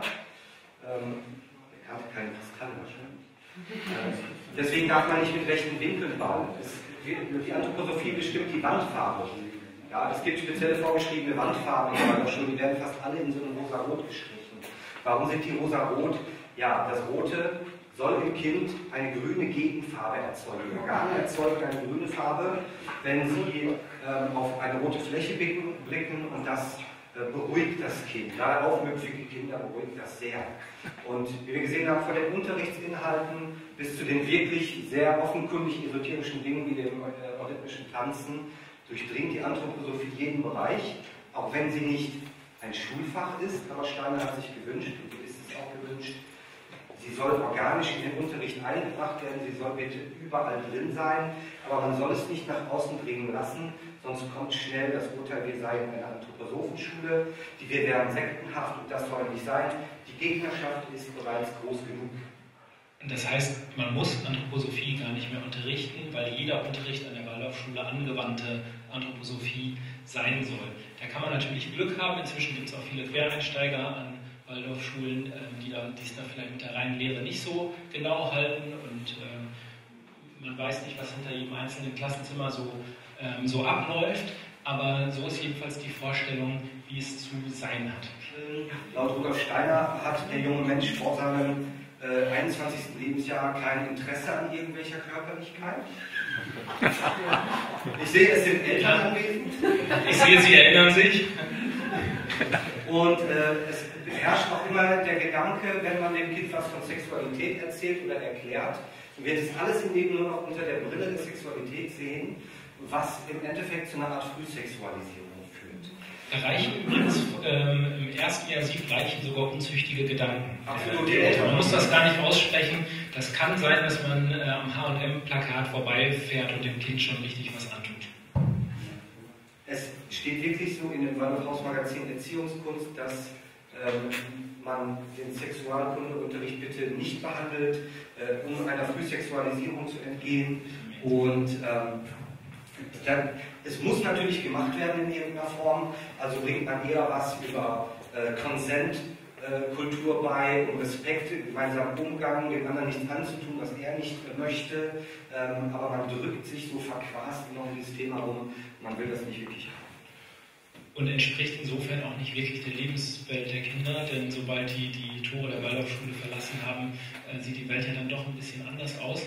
Und mir persönlich ist es doch lieber, ähm, ohne dass ich Kinder früh sexualisieren möchte, ist es mir doch lieber, ich bereite sie auf das vor, was sie da in der Welt so, ähm, so vorfinden. Diese Beziehung, äh, Bewegungskunst, auch direkt nach Steiner von ihm äh, erfunden worden. Er hat es immer genannt, was wir hier machen, ist das irdische Abbild der Sprache der Elfen, Gnomen und Engel. Es ist also getanzte Elfen- und Gnomen- und Engelssprache. Ähm, der schreibt man ganz da schreibt man ganz viele verschiedene Wirkungen zu. Äh, zum Beispiel in der Medizin hat die eine Heilwirkung. Da gibt es Menschen, die meinen, das hilft gegen Hirntumore, Schussverletzungen. Ähm, bei AIDS-Erkrankungen kann man diese Heileurythmie einsetzen. Ähm, Auch bei dieser Rechtschreibschwäche. Absolut. Ähm, man kann im, Landbau zum Beispiel wird die benutzt. Ähm, es geht also immer um dieses Tanzen in wallenden Kleidern, was eigentlich auch eine sehr unkörperliche Sache ist, weil der Körper verdeckt wird ähm, damit und eigentlich keine wirkliche Körperlichkeit ist. Es ist aber halt ein, ein Kernelement und darf nicht wegfallen und wird deswegen in allen Bereichen angeboten. Eine Sache möchte ich doch noch anfügen. Ähm, der Staat, der kennt das Fach Eurythmie in seinen äh, Lehrplänen nicht und deshalb weist er den äh, Waldorfschulen auch kein Geld für Eurythmie-Lehrer zu. Und das bedeutet, ähm, dass das Geld, was an der Schule zur Verfügung ist, so umgelegt werden muss, damit der Eurythmie-Lehrer auch sein Einkommen hat. Das heißt, die müssen sich finanziell ganz schön strecken, um das hinzubekommen, den äh, Eurythmie-Lehrer zu bezahlen. Und nicht nur das, an vielen Waldorfschulen ähm, leistet man sich dann auch noch einen Live-Pianisten, der die, die äh, Musik dann noch live dazu einspielt. Und da sieht man dann halt, dass es nicht nur so ein bisschen spinnertes Tanzen ist, sondern dass da schon viel mehr dahinter äh, stecken muss, weil das wirklich für, für Waldorfschulen eine große finanzielle Anstrengung bedeutet, das sicherzustellen. Ja. Und Eurythmie-Lehrer müssen auch weniger unterrichten als die anderen Lehrer, weil die so intensiv mit der Seele des Kindes in Kontakt treten. Das überfordert die, das ist sehr zehrend, habe ich gehört. Sehr. Ähm, wir noch das letzte Bild im biodynamischen Landbau nach Rudolf Steiner wird die Qualität von Äpfeln zum Beispiel verbessert, indem man auf dem äh, Acker die Apfelbäume tanzt. Ich würde euch gerne sagen, dass das Quatsch ist, aber das wird gemacht. Das nennt sich biodynamische Forschung und man hat herausgefunden, äh, welche besonderen Bewegungen und Gesten den Geschmack dann verbessern können. Das kann man dann zum Beispiel auf den Seiten von Demeter äh, nachlesen, warum das so sinnhaft ist. Ähm, ganz noch am Rande, es gibt natürlich auch ein spezielles anthroposophisches Turnen. Ähm, auch der Sportunterricht ist anthroposophisch. Da gibt es zum Beispiel die Bodmer-Gymnastik. Äh, die soll helfen, den Kindern den dreidimensionalen Raum um sich wahrzunehmen. Weil ich mich immer frage, wie die es in die Turnhalle geschafft haben, wenn die den dreidimensionalen Raum nicht wahrnehmen. Ähm, aber unter der Tür durchgerutscht. Aber auch im Sport kommen wir um die Lehre nicht rum. Ja, aber wo ist jetzt eigentlich das Problem? Das ja, ein bisschen, jetzt... bisschen tanzen, ein bisschen viel musizieren, ähm, viel malen, das kann ja alles nicht so schlimm sein. Und die Leute meinen es gut, ich glaube, das, äh, das kann man wirklich sagen. Das glaube ich auch. Ja. Wo ist das Problem? Also wir sehen ein Problem im magischen Denken, das äh, da vermittelt wird. Und magisches Denken gehört in der Entwicklung eines Kindes ja auch dazu, sollte dann aber ja auch irgendwann abgelöst werden. Passiert auch in den ersten Jahren nicht. Ähm, da es keine Bücher gibt, beschäftigen äh, sich die Kinder gerade in den ersten beiden Jahren fast überwiegend mit Märchen und Fabelerzählungen, die dann immer natürlich sinnbildlich sein sollen, aber da wird schon der Grundstein gelegt dafür, dass zwischen echten Fakten und Fiktion und Möglichem gar nicht mehr unterschieden wird. Was sehen wir hier?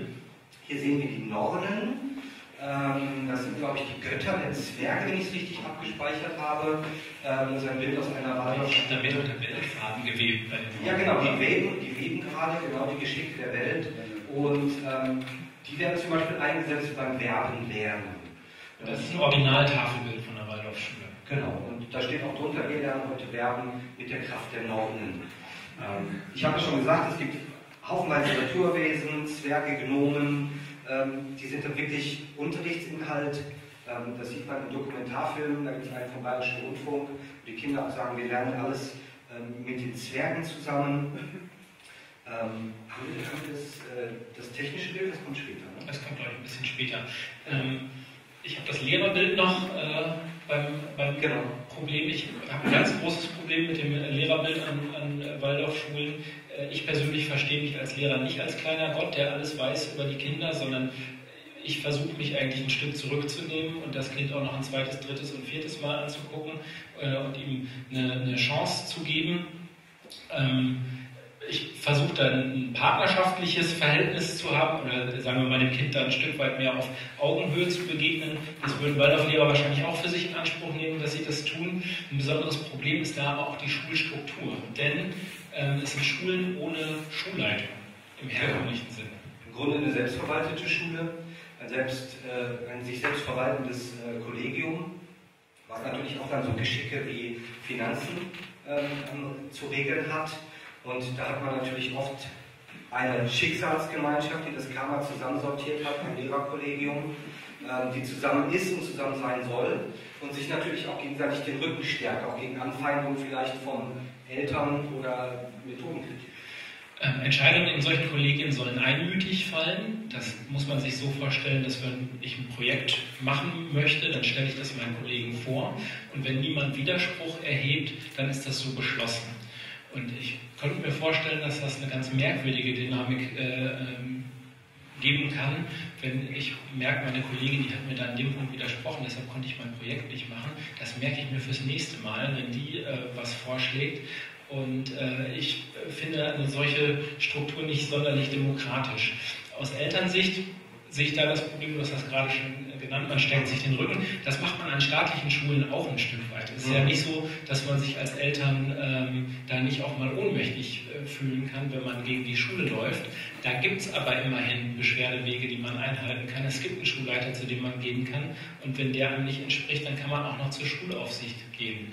Ähm, wenn das kleinere Problemchen sind, dann äh, führt das vielleicht mal ins Leere. Aber wenn es wirklich schwerwiegende Vergehen sind, dann kann man relativ sicher sein, dass da ähm, auch entsprechende Prozesse dann äh, ablaufen und eingeleitet werden. Genau. Und wenn es Leitfaden dazu gibt, wie damit umzugehen wäre. Und äh, da hat man, wenn man ein Problem hat mit der Schule, hat man als äh, Eltern eine Schwierigkeit dagegen anzukommen.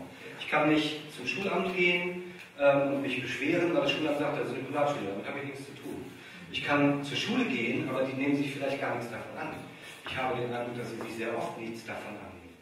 Ähm, und wenn ich mehr als dreimal protestiere, dann wird halt der Schulvertrag gekündigt. Äh, weil draußen stehen genug Leute, die in die Schule rein wollen. Die ähm, Schule boomt sehr stark. Wir haben jetzt fast an die 250 Schulen, 245 laufen gerade, einige sind im Aufbau. Ähm, in Deutschland? In Deutschland, weltweit sind es über 1000 und die können gar nicht so viel aufnehmen, wie die Leute da rein wollen. Deswegen ist jemand, passt da nicht ins System, weil er vielleicht auch kritisch ist, wird er gegangen und dann stehen genug da, die den Platz haben. Mobbing hängt da fast direkt damit zusammen. Ähm, die Klassen bilden eine Schicksalsgemeinschaft, die sind ausgesucht worden, die sind vom Schicksal dafür bestimmt, da in diesen acht Jahren mit dem Klassenlehrer zusammen ähm, den, den Weg zu gehen. Und ähm, in so einer Klassendynamik gibt es halt auch oben und unten und man sieht das als ganz natürlich äh, an, dass da halt auch Kinder zum Opfer werden können und man sieht da sogar einen Sinn drin. Ja, natürlich ist, hat das einen Sinn, wenn ein Kind gemobbt wird, dann äh, wird es das brauchen für seine Entwicklung, dann wird das äh, dass es gemobbt wird und zum Opfer wurde, das liegt dann in seiner Vergangenheit. In, der, in, dem vorherigen Leben hat es etwas getan, was es heute zum Opfer macht. Und das kann es auch nur dadurch überwinden, dass es auch gemobbt wird. Ähm, und da muss man das auch schon mal ein Stück weit zulassen. Ähm, es kursierte mal eine Handreichung von einer äh, kanadischen Waldorfschule, der Alan Howard School, ähm, aus der Jahrtausendwende. Und da wurde davon gesprochen, dass es Opferkinder gibt und Täterkinder und der Lehrer sich doch tunlichst sehr genau überlegen möchte, ob er da eingreift oder wie weit er eingreift, um die dynamische Entwicklung nicht zu stören. Ich will nicht sagen, dass es mehr Mobbing gibt an der Waldorfschule, das wird es wahrscheinlich überall geben, aber es hat für mich den Eindruck, als würde gerade da absichtlich nichts dagegen getan. Ja, es gibt eine Studie vom Kriminologischen ja. Forschungsinstitut, das schon ähm, darauf hinweist, dass, ähm, äh, dass an Waldorfschulen besonders viel Mobbing Gewalt, aber auch insbesondere Mobbing. Und Zerstörung von Dingen, glaube ich. Genau, ähm, besonders stark ist und ähm, gerade da empfinden Eltern häufig eine Ohnmacht. Und ich habe auch Mobbing-Tagebücher zugeschickt bekommen und zu Hause, ähm, wenn ich die lese, das, da, da, steigen einem wirklich fast die Tränen äh, in die Augen, was da passiert. Und ähm, ja, wenn man immer von erfolgreichen und zufriedenen Waldorfschülern hört, die es ja auch zahlreich gibt, das will ich ja gar nicht absprechen. Äh, trotz dem ganzen äh, Überbau, der darüber schwebt, können Schüler da durchgehen und haben vielleicht eine empathische Lehrkraft, die vielleicht eine tolle Person ist ja. ähm, und gehen da unbeschadet durch. Das passiert natürlich auch, aber äh, man weiß aus einer aus einer Waldorf-eigenen Untersuchung, die nämlich ähm, rausgefunden hat, eine große empirische Untersuchung, ich glaube 1800 Schüler, ich weiß gar nicht mehr ganz genau, jedenfalls relativ großer Datensatz.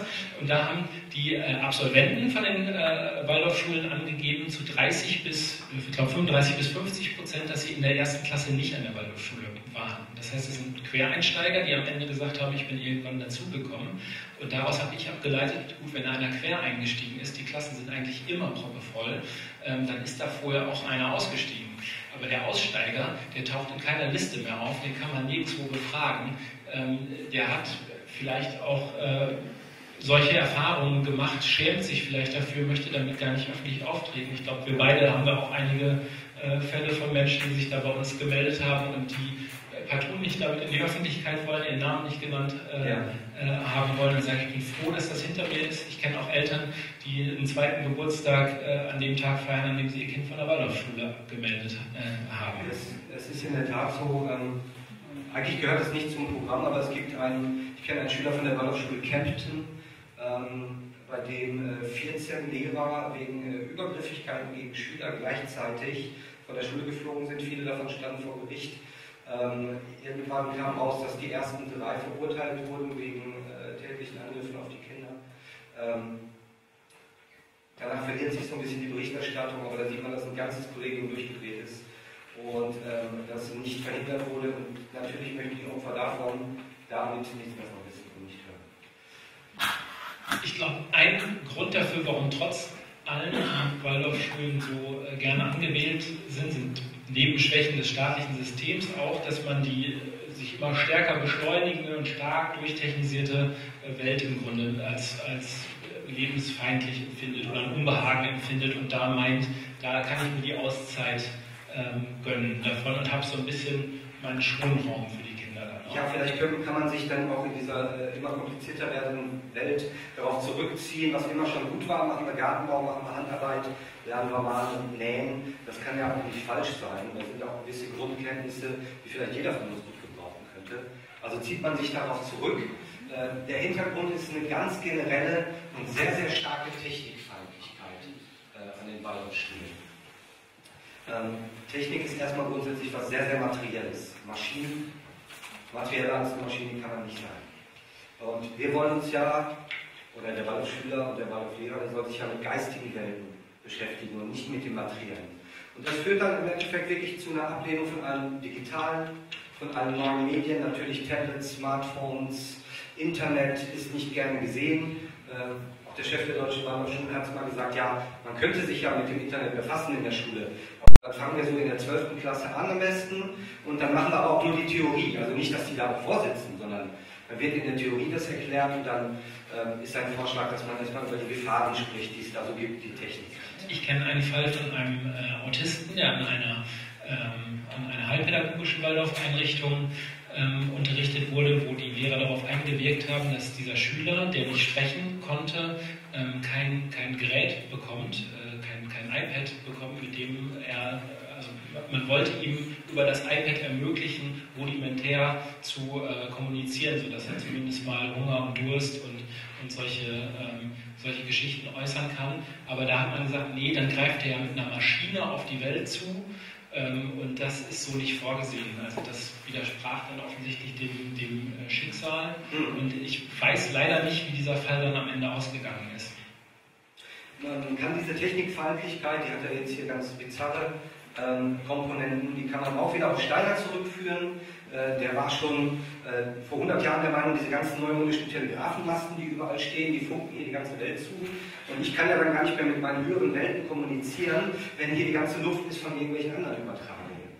Ähm, vor das ist dieses Ethernet, hat sich auch ziemlich durchgesetzt. ja, ja, das findet man jetzt aber wieder in der Waldorf-Zeitschrift Erziehungskunst, wo dann zum Beispiel steht, ähm, Waldorf-Lehrer wurden krank, nachdem ein WLAN-Sender in dem äh, Lehrerzimmer eingeschaltet wurde. Ähm, ich glaube, das nennt man den Nocebo-Effekt. Man fühlt sich von diesen WLAN-Strahlen, fühlt man sich krank und da steht wörtlich, äh, dass das WLAN auch bei der Reinkarnation stört. Deswegen gibt es die ersten Waldorfschulen und auch das ist kein Witz. Wenn die Neubauten haben, dann schirmen die sich technisch gegen Handystrahlung und WLAN-Strahlung ab, weil man das nicht haben möchte. Und dann schlägt man auch bei der Erziehungskunst auf und da steht, unter dem Titel Technikwesen wollen unsere Freundschaft, dass in jedem Gerät natürlich auch ein Naturwesen steckt. Und dass der Anthroposoph äh, spricht davon, dass er mit seinem Computer nicht klarkam, bis ihm aufging, er muss das Naturwesen im Computer erst besänftigen. Dann hat er nach seinem Namen gefragt, das hieß, glaube ich, so, aber. Ein Passwort wahrscheinlich auch. Passwort von es auch. Dann hat das Naturwesen besänftigt und dann konnte er auch mit dem Computer arbeiten. Aber genauso steht dort in jeder Waschmaschine, in jedem Auto ist ein Naturwesen drin. Und das ist aber auch klar. Um Computer zu bauen, brauche ich Edelmetalle. Die habe ich aus dem Boden genommen. Da hat vorher der Naturgeist gewohnt. Der ist jetzt sauer, dass ich seinen Lebensraum zerstört habe. Zieht den Computer ein, der aus dem Herzen gemacht ist. Und äh, da haust er dann rum und muss dann halt auch besänftigt werden. Ich wünschte wirklich, ich würde sowas manchmal erfinden, aber das kann man online lesen, erziehungskunst.de, einfach mal reinschauen unter Technik. Verschwörungsdenken und rechte Ideologie haben wir noch als einen Punkt, bevor wir so langsam auf die Zielgerade ähm, einbiegen. Ich persönlich habe so ein bisschen den Eindruck, dass ähm, der Rassismus an Waldorfschulen ähm, gar nicht mehr so stark im Vordergrund ähm, steht. Also es gab noch vor einigen Jahren ähm, rassistische Bücher, die an Waldorf-Lehrerseminaren äh, empfohlen worden sind. Ich glaube aber, dass das irrationale Denken und das verschwörungstheoretische Denken, dass das ähm, heute ähm, eine viel größere Rolle spielt und auch viel gefährlicher ist. Denn ähm, wenn ich jetzt mal von der Ideologie her denke, da gibt es eine geistige Welt neben der sinnfälligen Welt und es gibt Mächte des Guten und des Bösen, die miteinander im Clinch liegen, ähm, dann ist es von, von, von so einer Denke gar nicht mehr so weit bis zu handfesten Verschwörungstheorien, wo irgendwelche finsteren Mächte sich verschwören und irgendwas tun. Und nicht von ungefähr sind auch die Stars der äh, deutschsprachigen Verschwörungsszene Daniele Ganser und, und Ken Jepsen, ehemalige Waldorfschüler. Ähm, ja. Waren Sie auch gerne zu Gast auch an Waldorfschulen? Ja, Sie werden immer wieder eingeladen, ähm, auch an anthroposophischen Universitäten, aber natürlich auch in der, in der Waldorfschule. Ähm, das hat natürlich auch zu Eklats geführt dann teilweise, zu offenen Briefen von Parteien und Stiftungen, die gesagt haben, wir können solche Leute doch da nicht reden lassen. Der eine oder andere antisemitische Rapper war da auch mal eingeladen. Also das äh, System scheint sehr obskure Persönlichkeiten sowohl hervorzubringen als auch anzuziehen.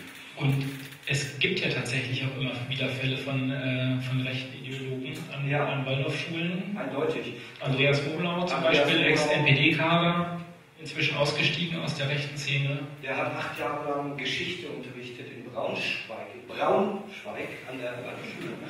Und ähm, ist dann irgendwie nicht besonders aufgefallen. Im Nachhinein wurde er dann rausgeschmissen und im Interview gefragt, ob das nicht sehr gegensätzlich wäre, dieses ganzheitliche mit der Anthroposophie und seinem seine Nazitum, hat er gesagt, nein, für mich gibt es keinen Unterschied zwischen der Waldorfpädagogik und der NPD. Ich würde es nicht behaupten, aber er hat es so gesehen. Ähm, also da gibt es viele obskure Charakter, da gab es äh, in Rendsburg einen Reichsbürger als, äh, als Chef der Waldorfschule. Ja, Geschäftsführer. Geschäftsführer, Entschuldigung. Da gab es in Minden einen, einen, Nazi, der 20, 25 Jahre lang in Nazi-Organisationen war, für Nazi-Zeitungen geschrieben hat, der ganz bekannt war und trotzdem 20 Jahre lang im Kollegium sitzen kann, seine Flyer verteilen kann. Und äh, eine Zeitung schrieb mal, das erntete im Kollegium nur Schulterzucken. Ja, also sowas ist durchaus möglich, es ist garantiert nicht die Regel, aber wir haben Extremisten und ich frage mich dann manchmal, also eigentlich hat man doch äh, Waldorfschulen so als äh, links ein bisschen grün, ein bisschen verschoben im Kopf. Wie kann es eigentlich sein, dass sich äh, auch solche Leute da finden? Und ich glaube, die treffen sich gerade in dem äh, Verschwörungsdenken und in diesem Irrationalen. Denn äh, ich glaube, auch die Linken und die Rechten an der, an der Waldorfschule, die können sich im Zweifelsfall auf antiamerikanische Verschwörungstheorien äh, einigen und treffen sich dann da. Ähm, und ähm, wenn man sich die Anthroposophie anschaut, das ist ein derartig widersprüchliches und auch schwer greifbares äh, äh Subjekt, äh, Objekt, ähm, dass das äh, im Prinzip zu beiden Seiten hin offen ist und so. Ähm, können da, glaube ich, Linke wie Rechte an der Waldorfschule sich zu Hause fühlen, ohne dass sie merken, dass da ein Widerspruch besteht. Ja, und auch sämtliche äh, Sorten, abgesehen von der Politik, von Verschwörern oder von Esoterikern, von selbsternannten Quantenheilern bis zu Engelsmedien, die irgendwie mit höheren Welten sprechen können, die findet man halt als Waldorflehrer, wie ich finde, überdurchschnittlich Jetzt haben wir als letzten Punkt, bevor wir gerne in die Diskussion mit Ihnen gehen äh, möchten, noch anthroposophische Medizin an Waldorfschulen. Die spielt nämlich auch durchaus eine Rolle. Ja, absolut. Ähm, einige Schulen äh, leisten sich einen eigenen Schularzt. Der Schularzt muss natürlich selbstverständlich vom gleichen Glauben sein. Der ist ein anthroposophischer Arzt und was die zum Beispiel machen, ist halt, die schauen wiederum auf die Wesensglieder, also auf die Körperhüllen ihrer Augen. Wenn ich mehrere Augen habe und die sind miteinander nicht im Einklang, äh, dann resultieren daraus Krankheiten. Das heißt, wenn ich krank bin, dann bin ich, habe ich die, selbst, die Krankheit selbst zu verursachen oder habe die selbst verursacht wegen Verfehlung aus einem späteren Leben und dann sitzen meine Augen, äh, frühere Leben, sorry, und dann sitzen meine Augen irgendwie schief. Und dann müssen diese Augen behandelt werden. Ähm, der anthroposophische Arzt, äh, der gibt natürlich spezielle anthroposophische Medizin, die bislang auch ohne Wirkungsnachweis ist und der führt auch die Schuleingangsuntersuchungen durch. Und mal zeigen, was da in Gent berichtet wird. Ja, da haben wir einen Fall von, ich glaube, es war 2012 aus Belgien, aus Gent. Ähm, die Steiner-Schule inspiziert sogar die Ohren ihres Kindes. Ähm, das ist etwas schlecht übersetzt, weil es eine automatische Übersetzung von einer großen Suchmaschine ist. Äh, sonst wäre es auf Flämisch gewesen. Es geht um einen äh, Aushilfslehrer, der an eine Waldorfschule gegangen ist. Und eine der ersten Dinge, die er mitmachen musste, war eine Schuleingangsuntersuchung. Da saß das komplette 20-köpfige äh, Kollegium plus äh, den Schularzt und der hat dann so Sachen nachgeschaut wie die Zähne des Kindes, weil wir erinnern uns, er muss sein Elternleid das entwickelt haben, bevor er eingeschult werden kann. Das sieht man an den Zähnen. Ähm, er untersucht auch die Fersen des Kindes, die Füße. Ähm, denn nur richtig fest inkarnierte Kinder treten auch fest auf mit den Füßen und nicht fest äh, inkarnierte Kinder, die trippen eher so leicht. Und man untersucht die Ohren des Kindes, weil man an den Ohren des Kindes äh, zum Beispiel erkennen kann, ob es an dämmern muss. Ähm, es gibt ja Kinder, das wissen wir alle, die sind gar keine Kinder, die sind seelenlose Kinder, die sind ähm, Dämonen. Und der Steiner hat ganz klar gesagt, und da müsste man darauf achten, äh, für Dämonenkinder können wir keine Schule errichten. Und deswegen gibt es die Fälle, dass Zähne, Fersen, Ohren vom äh, Arzt bei der Schuleingangsuntersuchung gecheckt werden. Ein anderer Punkt ist, dass äh, meiner Meinung nach die Waldorfschulen in Deutschland Brotstätten für die Masern sind und ein wesentlicher Punkt, warum Masern bis heute äh, nicht ausgerottet sind. Es wird sehr stark bestärkt. Es gibt äh, Vorträge von anthroposophischen Medizinern, die vorgeblich immer die freie Impfentscheidung propagieren, da aber die Wahl zwischen einer sehr, sehr schlechten Alternative zu impfen ähm, und eben dem Nichtimpfen ähm, aufmachen, weil ja in der Masernerkrankung Entwicklungschancen liegen. Da gibt es auch einen sehr unappetitlichen Artikel in der Erziehungskunst, den ich äh, gerne zitiere, die Masernbergtour, äh, wo eine, eine Waldorf-Mutter äh, sogar einigermaßen absichtlich noch eins ihrer Kinder infiziert wird, nachdem das andere schon, schon krank ist oder zumindest billigend in Kauf nimmt, dass es sich auch ansteckt und dann berichtet, wie, wie, wie so eine romantische Bergtour da diese Masernerkrankung zuerst wird angefiebert, das ist dann der Anstieg und das ist sehr anstrengend und schweißtreibend. Ähm, und manche schaffen es auch nicht, diesen schweren Anstieg. Das ist dann leider so. Aber äh, irgendwann ist man dann über den Berg. Diese ganze Familie ist dann auch im Krankenhaus ähm, gelandet, wie ja viele, die an Masern erkranken, im Krankenhaus landen. Ähm, aber auch das war eigentlich eine ganz tolle Erfahrung für diese Mutter, denn man hatte endlich mal wieder Zeit für das Kind und da muss man sich auch mal überlegen, äh, was da eigentlich los sein muss, wenn es der Masernerkrankung bedarf, damit die Familie mal wieder ein bisschen zusammenrückt. Äh, aber am Ende ist man über dem Berg und man stellt dann natürlich auch fest, dass das Kind sich ganz toll weiterentwickelt. Dabei weiß man es ja. Das soll es ja. Es soll ja ähm, diese Krankheit durchmachen, um sich weiterzuentwickeln. Dann postuliert man, es gibt einen Entwicklungsschub und dann braucht er das und das ist natürlich viel besser, Masern nicht zu haben. Ähm, es spielt natürlich da auch ein bisschen rein, dass äh, der Prophet Steiner der Meinung war, irgendwann werden man uns unsere Spiritualität nehmen wollen. Und wie werden sie das machen? Sie werden uns die wegimpfen. In den Impfstoffen sind äh, Dinge drin, die die Spiritualität aus dem Körper entfernen sollen. Und das ist auch einer der Gründe, warum man das bitte nicht zu tun hat. Ähm, was dazu führt, dass wir die großen Masernwellen der letzten Jahre, die 2010er Masernwelle, die ging äh, eindeutig von, von den Waldorfschulen aus. Und ich habe mich mal mit einer Pressesprecherin, war es glaube ich, des Bundes der Freien Waldorfschulen bei Twitter ein bisschen auseinandergesetzt äh, über diese Maserngeschichte äh, und sie meinte, ja, so viele Masernerkrankungen haben wir ja gar nicht, das sind ja nur so und so viele. Und dann habe ich mal angefangen auszurechnen, weil es sind ja auch gar nicht so viele Waldorfschüler im Vergleich zu all den staatlichen ja, Schülern. 90.000 äh, äh, staatlichen Schülern. Ich musste dann auf die Fallzahlen von 2012, glaube ich, gehen, oder 2015, ich weiß es nicht mehr ganz genau. Die sind ähm, nämlich beim PSIRAM schön gesammelt anhand von Presseberichten. Und da darf man auch davon ausgehen, dass es da noch eine erhebliche Dunkelziffer an Erkrankungen gibt, die eben nicht in der Presse berichtet worden sind. Aber wenn man die mal annimmt und ähm, dann ausrechnet, äh, wie es denn aussieht äh, mit dem Risiko an Masern zu erkranken, dann bin ich darauf gekommen, dass es ein 48-fach erhöhtes Risiko gibt, an einer Waldorfschule an Masern zu erkranken im Vergleich zur Gesamtbevölkerung. Das, und das ist, glaube ich, schon eine ganz eindrucksvolle Zahl. Das ist auch ein offenes Geheimnis äh, Sabine Reiter vom äh, Robert-Koch-Institut benennt ganz klar die Waldorfschulen als Problem bei den Masern. Der Jan Leidel heißt der, glaube ich, von, äh, von der Ständigen Impfkommission, sagt, ähm, wenn nur einer Masern hat in der Nähe der Waldorfschule, ist das wie ein Streichholz in einen äh, Strohhaufen zu werfen. Dann geht das los.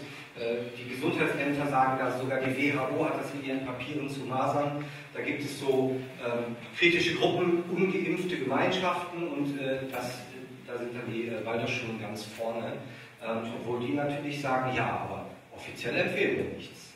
Ähm, aber unterschwellig äh, sieht man Durchimpfungsraten äh, bei uns im Ruhrgebiet regelmäßig unter 50 Prozent. bei 50 Prozent. Es gibt amerikanische Waldorfschulen, die liegen unter 25 Prozent der geimpften Kinder. Und das kann nicht ohne Grund so sein. Abschließend möchte ich sagen, wir haben jetzt so eine Rundreise durch diese ganze Denke gemacht und äh, das ist für viele vielleicht auch ein bisschen schwer verdaulich. Ähm, was macht die Attraktivität dieser Schulen aus? Ich glaube, an vielen Stellen ist es vielleicht auch eine Schwäche im, im, staatlichen System, was man nicht als ideal empfindet und man sucht da den Ausweg. Ich bin aber doch immer ganz stark dafür, dann das staatliche System bitte zu reformieren und nicht vom Regen in die Traufe äh, zu gehen und sich so einer äh, obskuren äh, denke, da anzuschließen. Ich persönlich stehe dafür, wenn ich ins Klassenzimmer gehe, den Kindern eine Welt zu zeigen, die sie begreifen und verstehen können, in der sie äh, handlungsmächtig sind und in der es auch äh, eine Wirklichkeit gibt, mit der man sich auseinandersetzen kann. Und ähm, ich hadere sehr mit der Waldorfpädagogik, weil ich finde, es ist eine Pädagogik, die den Kindern beibringt, die Welt nicht zu verstehen. Und ähm, das ist für mich einfach eine Unpädagogik und äh, deshalb lehne ich das ab. Und äh, ja, soweit vielleicht mal abschließen. Da möchte ich mich an, anschließen und das hast du sehr schön gesagt. Äh, die Erziehung dazu, die Welt nicht verstehen zu sollen, die kann ich dir nicht geben. Ja, vielen Dank für die Aufmerksamkeit. Jetzt haben Sie lange zugehört, ziemlich genau anderthalb Stunden. Wir haben es geschafft.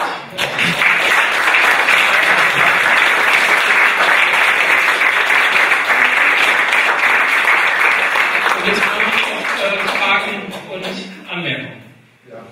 Was macht die Attraktivität von Waldorfschulen gerade im linksliberalen und grünen Milieu aus?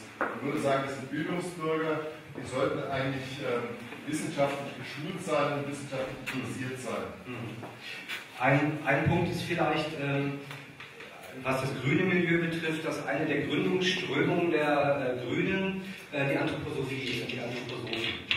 Ähm, die haben sich ja aus verschiedenen Strömungen zusammengesetzt und eine davon ist die Anthroposophie und ich glaube auch, dass die sich da immer noch hält. Ich muss da sehr lobend die jungen Grünen erwähnen, äh, die da nicht mit aufgewachsen sind und einen ganz anderen Weg einschlagen, aber man sieht halt auch genug an den Schallzentralen, Gerhard Heffner und wie sie alle heißen, äh, stramme Anthroposophen, die die grüne Politik von Anfang an mitgeprägt haben. Das schleicht sich jetzt, glaube ich, so langsam aus. Und ich glaube aber auch, dass man in der beschleunigten Welt und ähm, in der man immer mehr Druck sowohl in der Arbeitswelt, aber auch in der Schulwelt, also im staatlichen System empfindet, ähm, dass man da gerne eine Alternative möchte, die doch ein bisschen entschleunigt, die dann Ausweg ähm, bietet. Und ähm, ich sehe da auch tatsächlich viele Entwicklungen im staatlichen System und ähm, die fangen, das wäre jetzt ein eigenes Thema, die fangen für mich äh, bei den PISA-Untersuchungen und der Verengung des Bildungsbegriffs auf einfache Testungen äh, und dann in der Folge das Auslegen der ganzen äh, Pädagogik auf diese Tests hin. Das ist eine Aushöhlung des Bildungsbegriffs und ähm, das ist fatal und da möchte ich, dass da gegengesteuert wird, aber bitte innerhalb des staatlichen Systems. Und ähm, vielleicht dichtet man den Waldorf-Begeisterten immer so ein bisschen Gutmenschentum an, aber ich finde es eigentlich unfair, weil es geht mir auch so, ich möchte ich möchte eine bessere Landwirtschaft und eine bessere Tierhaltung. Das finde ich wichtig. Wer macht das denn? Wo kann ich denn da hingehen? Dann gehe ich zum Demeter. Der tanzt dann um den Apfelbaum. Ähm, und ich will eine bessere Körner mit Kuhmist. Ja, ich will eine bessere Medizin, die nicht nur eine Apparatemedizin ist, die den Menschen vielleicht mehr sieht, als der hat Kopfschmerzen und auch mal fragt, warum hat er die Kopfschmerzen? Was hat er dazu geführt? Eine ganzheitliche Medizin, da gehe ich zum anthroposophischen Mediziner, hole mir da meine Globuli. Und wenn ich eine andere Schule möchte, die eben nicht diese vorgebliche Leistungskaderschmiede ist, dann gehe ich auf die Waldorfschule. Das Problem ist, die bieten das ja an oder ähm, die tun auch das Richtige, aber wenn sie das Richtige tun, dann immer aus den falschen Gründen. Und ein Punkt noch, es wird halt nicht offen ausgesprochen. Es ist ja nicht so, dass man zum Waldorf-Infoabend geht und man äh, einen ähnlichen Vortrag zu äh, hören bekommt. Individuell, ganzheitlich. Und das Kind da wo es steht. Genau. Also wenn man die Konzepte kennt, dann erkennt man sie auch wieder, wenn man zu einem Infoabend äh, geht. Ist mir jedenfalls immer so gegangen. Ähm, ansonsten wird das in wohlklingenden Worthülsen äh, verpackt, was man da eigentlich tut. Und ich glaube, viele Eltern wissen nicht, auf was sie sich da einlassen. Genau, das war meine Frage. Wissen das überhaupt Eltern? Ich habe das Gefühl, dass viele, die sich dafür interessieren und dann tatsächlich auch hinschicken, keine Ahnung davon haben, kriegen die mit, dass ihr Kind charakterlich eingeordnet wird. Kriegen die diese ganzen Sachen, die wir heute erfahren haben, kriegen die das im Schulbetrieb mit? Manche bekommen es mit, manche nehmen ihr Kind ja dann auch runter und melden sich äh, bei uns, manche bekommen es vielleicht auch nicht mit, da äh, läuft es einfach äh, glatt durch. Ähm, Ja, nee, das äh, wissen ganz sicher nicht, nicht äh, alle Eltern an Waldorfschulen, was da getrieben wird. Und es gibt natürlich auch einen Kern von anthroposophischen Eltern mhm. äh, an Waldorfschulen, die da häufig auch als graue Eminenzen äh, unterwegs sind und auch im Hintergrund noch so ein paar Strippen ziehen. Das sind dann sozusagen nochmal so abgeschlossene Zirkel in der, in der Elternschaft. Wir sind ja alle gleich, aber manche sind doch ein bisschen gleich. Vielleicht. Eine weiter. Gibt es eigentlich auch immer noch, also erstes Mal vielen Dank für den sehr anschaulichen Vortrag. Ich beschäftige mich ja auch intensiv seit einem halben Jahr mit dem Ganzen, äh, habe viele, habe Bücher gelesen, habe Berichte im Internet gelesen und so weiter. Äh, eine ganz konkrete Frage oder zwei konkrete Fragen. Man hört immer wieder von ehemaligen Waldorflehrern, äh, Eltern von ehemaligen Waldorfschülern, die sich nicht zu outen wagen, dass mhm. sie ihre Kinder von der Schule genommen haben, weil sie sonst gemobbt werden, weil sie sonst, äh, weil die Nachbarin, die auch ihr Kind an der Waldorfschule hat, äh, sie nicht mehr kennen würde. Manchmal werden sie auch mit rechtlichen Schritten bedroht. Ja. Warum ist das möglich? Warum haben die Eltern so wenig Mut, sich öffentlich zu äußern zu dieser Problematik? Die überlegen sich dann, äh, ja, die Anthroposophie ist im Endeffekt ein Milliardenkonzern. Wenn man sich mal die Praxisfelder anguckt, da gibt es, ähm, die haben eine unglaubliche Macht in der Gesellschaft und die haben auch eine unglaubliche wirtschaftliche Macht. Ähm, aber die sind sehr tagesformlich. Und der Druck ist sehr groß. Und vielleicht ist auch ein Nebenaspekt, den ich sehe, wenn man sich auf das System einlässt, dann geht man zum Demeterhof, dann kauft man die anthroposophische Medizin, dann geht man in das Krankenhaus zu dem anthroposophischen Arzt. Man bewegt sich in einer Welt, wo alle irgendwie zu diesem System gehören. Und wenn man da erst noch richtig reingetaucht ist, ist es ganz schwer, da wieder rauszukommen. Ähm, man kann da nicht so leicht brechen mit der Ideologie. Philipp? Ähm, ich würde vielleicht einen Versuch machen, teilweise die erste Frage zu beantworten. Nach allem, was er heute erzählt hat. Ich äh, sehe eine sehr, sehr große Ähnlichkeit zwischen dem, was Rudolf Steiner gesagt hat, seiner Philosophie, und sehr vielen esoterischen Strömungen, die es insgesamt gibt, mhm. die auch relativ fest in unseren Gesellschaften äh, verankert sind. Also vieles, was ich von der Esoterik her kenne, kommt ja ohne, dass die sich jetzt irgendwie als Steiner-Anhänger bezeichnen. Aber man, man, man, sieht, wenn man das jetzt kennt, das kommt vom Steiner.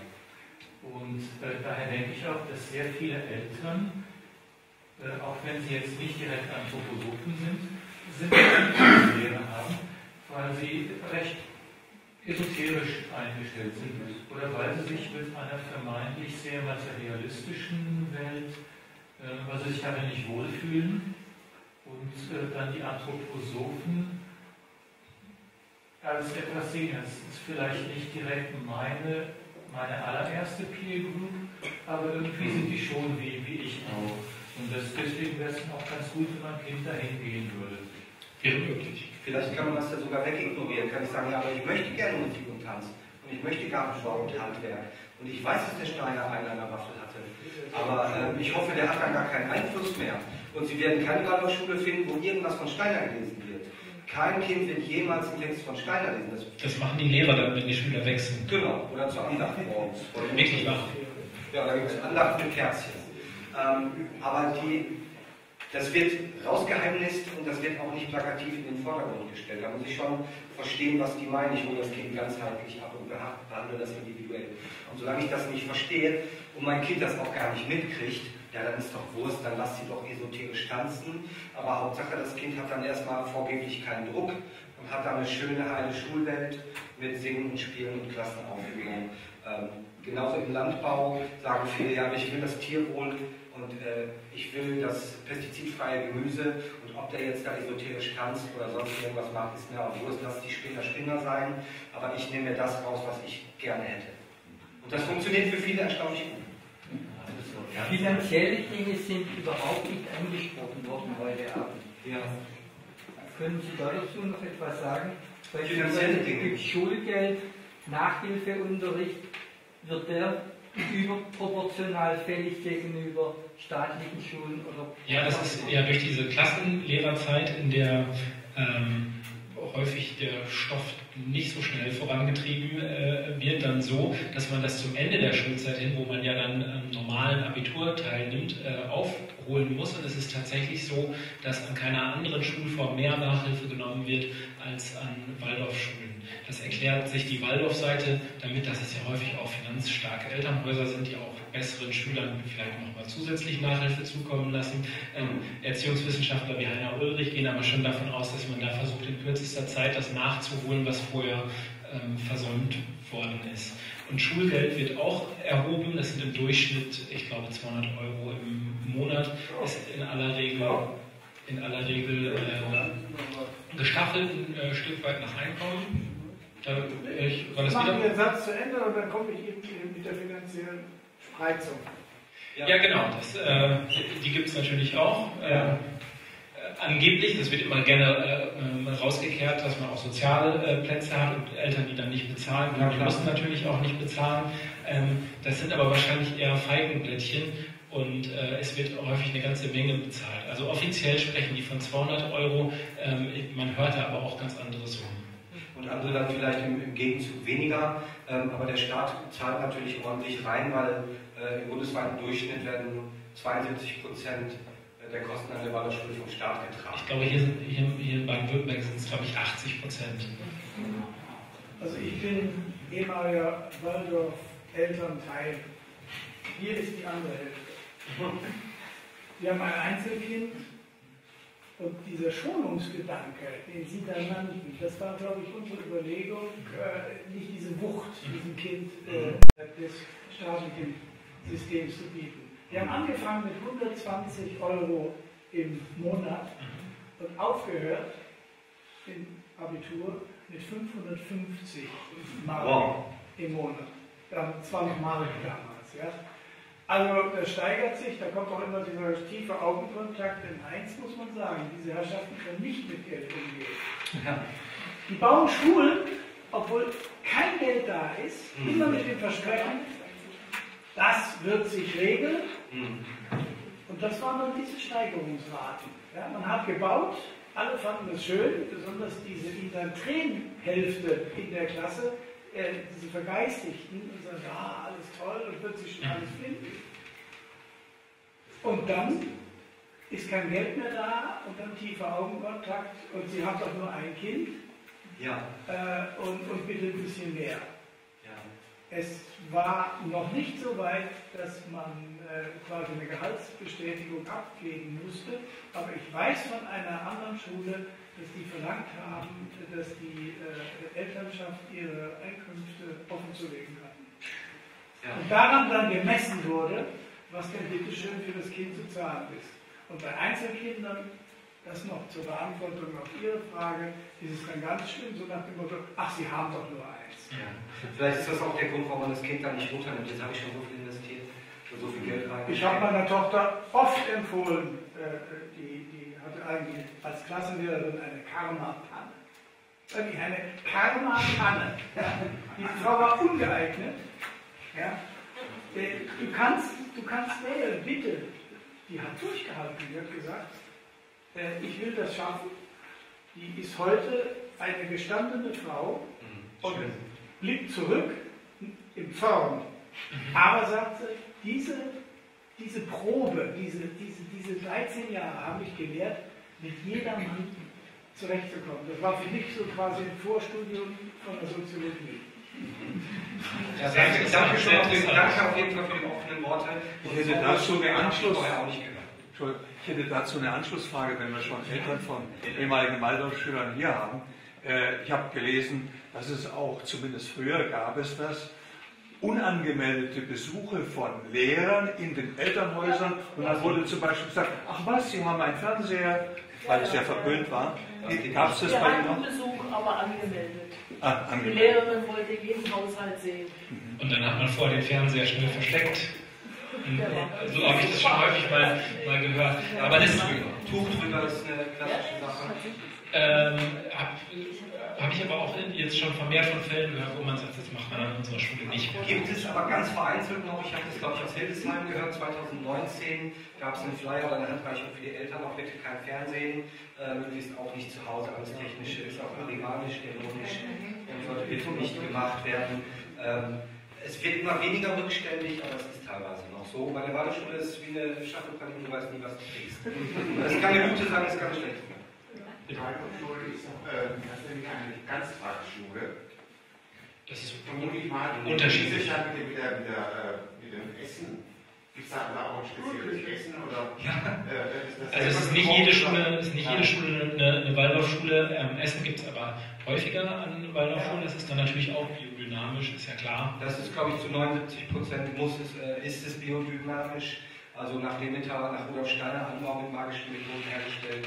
Äh, das ist schon Pflicht. Und da gibt es dann halt auch so Sachen wie die Anweisung, das bitte nicht in die Mikrowelle zu tun, weil wir haben ja esoterisch getanzt auf dem Feld und dann jetzt sind die Ätherkräfte in dem Apfel.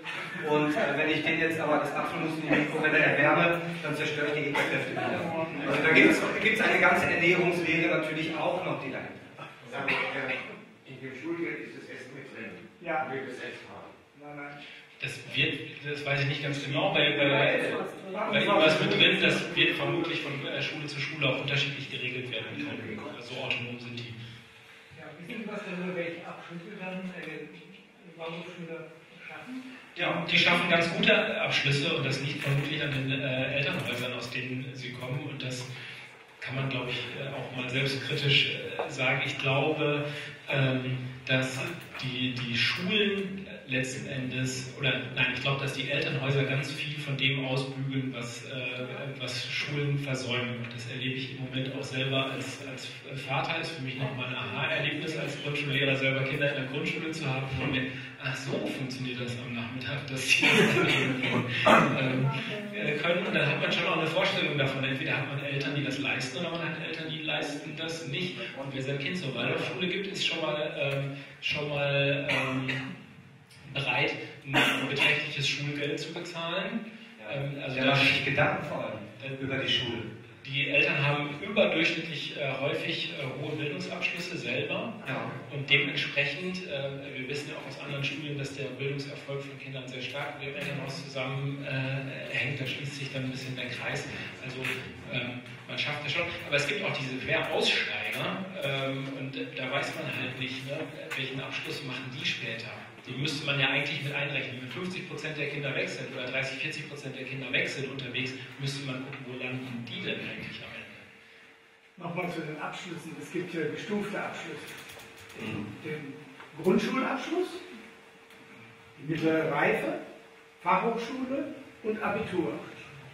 Nur, die Elternhäuser erfahren das immer relativ spät.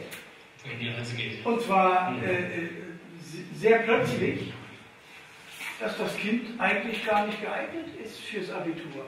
Das wird ihnen aber lange verheimlicht. Ja?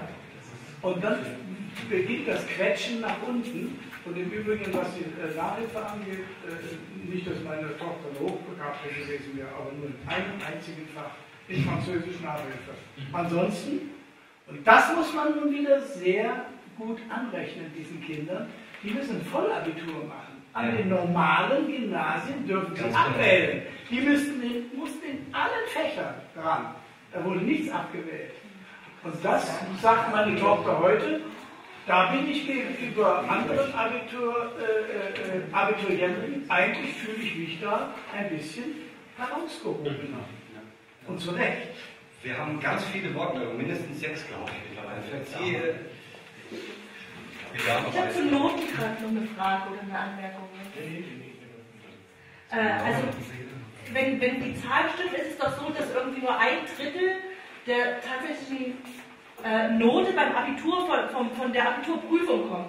Und die anderen, in Baden-Württemberg jedenfalls. Und die anderen zwei Drittel kommen so durch die Schulnoten. Meine Theorie war immer, dass, dass, dass an der Waldorfschule die Schulnoten eine relativ ähm, Gusto-Entscheidung des Lehrers sind. Und ich habe das Gefühl, dass da die Evaluierung nicht so gerade läuft wie an der staatlichen Schule. Kann das sein? Oder liege ich da total falsch? Ich kenne da unterschiedliche Aussagen aus den Ministerien und ich glaube, dass wir von Bundesland, Bundesland, zu Bundesland auch ein bisschen ähm, sich unterscheiden. Ähm, klar kann es immer sein, dass ein Waldorflehrer seine Schüler wohlwollend beurteilt. Da. Aber das würde ich jetzt erstmal nicht unterstellen wollen, dass das, dass das passiert. Die Notendurchschnitte von den Klassen, da kam die Waldorfschule die Moral nicht gut weg. Und ich habe mich dann auch gefragt, wie kommt es? Und sicher mag das eine der Fall sein, dass Kinder einfach durch den Nachhilfeunterricht entsprechend gehypt wurden, dass sie es schaffen. Das andere ist aber, das weiß ich von Erzählungen, das weiß ich auch, weil meine Schwester in der Waldorfschule war, dass es ein wahnsinnig großer, ein wahnsinnig großes Selektionsdruck herrscht. Genau das, was Sie vorhin gesagt haben, denn es sind einfach gar nicht alle Kinder hervorgesehen. Und die Abhängigkeit von der Entscheidung liegt, ist ganz klar bei der Waldorfschule. Und da kann man nicht viel dagegen machen. Das heißt, die Leute, die dann nachher Abitur machen, die sind befähigt und in den letzten drei Jahren geht es dann auch. Also geht's, eigentlich geht es schon in der Oberstufe ab. Also Ja, das in den Jahre. ersten acht Jahren fängt das Ding äh, richtig an zu stressen. Ja? Also da hat man gemerkt bei meiner Tochter, hoppala, jetzt ist die Spielerei zu Ende. Ja? Was schon acht Jahre lang.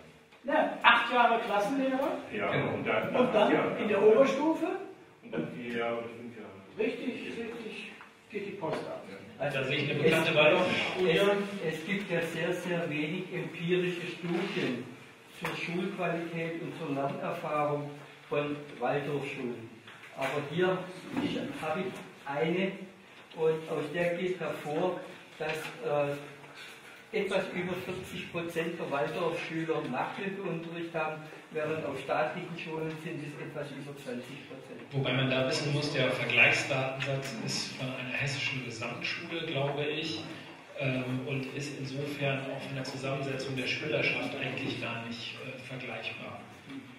Das ist ohnehin eine Schwierigkeit in dieser ähm, Studie. Die ist aber äh, ganz interessant. Die ist aus dem, im, im Waldorf-Umfeld entstanden und man darf sich beim, beim Fazit nicht immer in die, in die Irre führen lassen. Wenn man die kritisch liest, sind da viele Daten drin, die einen aufhorchen lassen.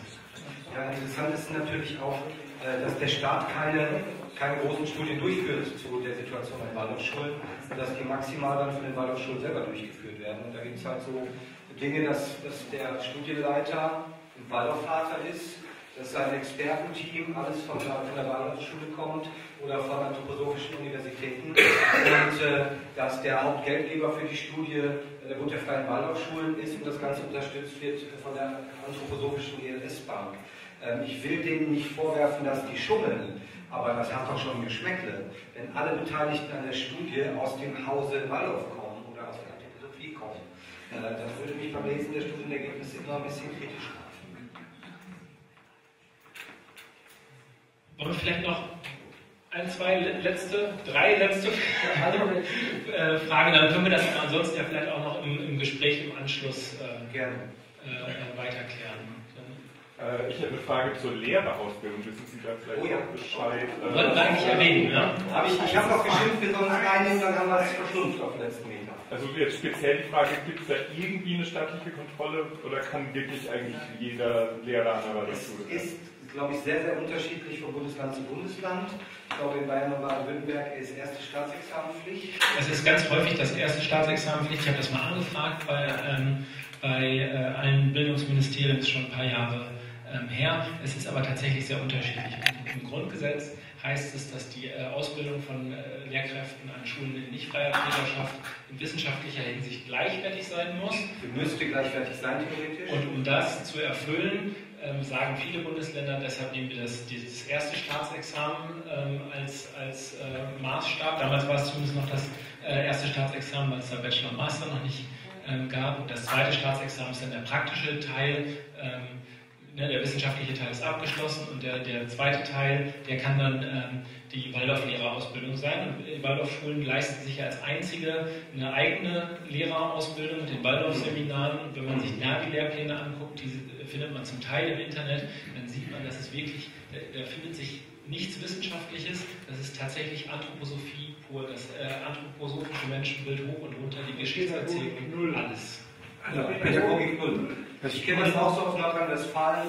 Ähm, da gibt es keine Voraussetzungen für den Lehrerberuf. Man muss ein Waldorf-Seminar gemacht haben oder wie ich immer sage, Esoterik-Seminar, äh, wo ähm, manche, die die Ausbildung gemacht haben, die Pläne ins Internet gestellt haben und man sieht, da wird Exegese betrieben, da wird Steiner gelesen, ähm, da geht es um Esoterik pur und da werden gar keine didaktischen Fähigkeiten oder sehr wenig so vermittelt. Und du hast gerade Bayern genannt. Ich glaube, Bayern ist immer eines der Bundesländer, die sogar ein zweites Staatsexamen, Ich meine, die sind die strengsten. äh, äh, zweites Staatsexamen voraussetzen. Es gibt einige wenige Bundesländer, die sagen, wir wollen die, die volle Lehrerausbildung und ob die dann danach noch irgendwas anderes oben draufsetzen, das ist uns ähm, dann egal. Das sind aber die wenigsten Bundesländer. Meines Wissens ist es in Baden-Württemberg so, dass nicht das erste Staatsexamen notwendig ist. möglich ist das. Ich habe das nicht mehr genau im Kopf, wie das war. Kann ich dann bestätigen, man. Also, da, daher die Kar meine Wortwahl Karma-Panne. Die Ja. Klassenlehrerin meiner Tochter war Maschinenbauerin, Elektroingenieurin. Mhm. Nun mag man dieses Examen als erstes Staatsexamen gelten lassen. Sie war Mutter eines Waldorfkindes äh, in äh, einer anderen Gemeinde und an unserer Schule ist sie dann genommen worden, weil sie dann diese freie Hochschule äh, gemacht hat, also diese Lehrer, äh, auch angebliche Lehrerseminar. Da wird nichts gelehrt. Ich habe mich damit auch beschäftigt damals, äh, weil ich auf den Grund gehen wollte, warum die Frau nicht pädagogisch begabt ist. ja, die hat dann keine Pädagogik Null.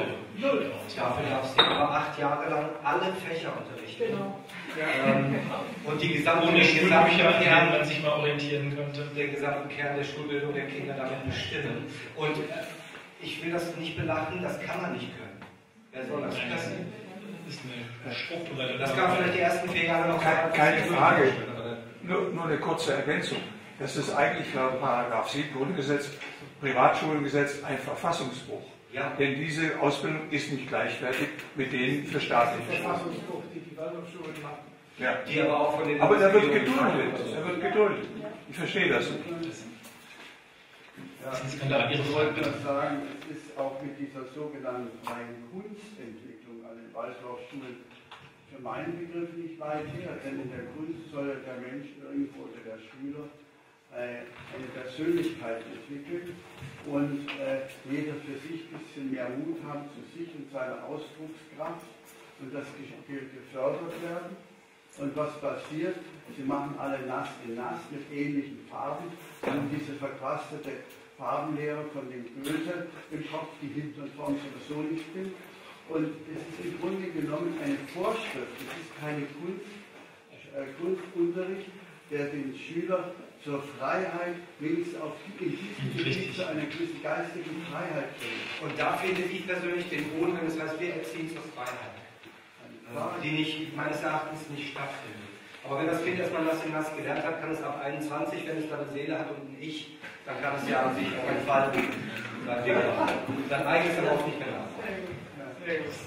Ich würde auch gerne noch zwei Gedanken einstreuen. Einerseits zum Begriff der Ganzheitlichkeit. Ganzheitlichkeit klingt immer ganz gut, aber man muss eigentlich dann immer nachfragen, was ist die Ganzheit? Äh, die Ganzheit eben das vorangegangene gegangene Leben umfasst oder irgendwelche Dinge, die gar nicht da sind, dann wird diese Ganzheitlichkeit zur Zwangsjacke, wo irgendein Kind reingepresst wird in irgendwas, was gar nicht da ist, sondern was da reingeschaut wird. Ach, ein, wenn du deine Welten entwickelt hast, Klaus, deine Organe dafür und das wahrnimmst, dann wirst auch du sehen. Ja, dass es diese gibt. Ja, ich bin halt noch nicht so weit. Bist noch nicht so weit. Da bin, ich, da bin ich bei dem zweiten Gedanken, den ich noch sagen wollte, da ist ja diese Technikfeindlichkeit da. Da ist ja auch dieses von Steiner, der ist ja im Grunde genommen ein gescheiterter Akademiker, der hat ja erstmal ein Studium abgebrochen, dann hat er dann doch noch Philosophie, äh, Doktortitel machen können mit Elite, der schlechtesten Note, die, mit der man überhaupt durchkommt. Die Doktorarbeit hat man übrigens in zwei, drei Stunden durchgelesen. Die äh, Okay. ist ein dünnes Heft. 48 Seiten. Und äh, dann war es mit, der Ak- dann war's mit der akademischen Karriere nichts. Und dann erfindet man sich, denke ich mal, so als Kompensation für seine Minderwertigkeitskomplexe, sagt man, ich weiß ja irgendwas Besseres. Ich sehe ja hell.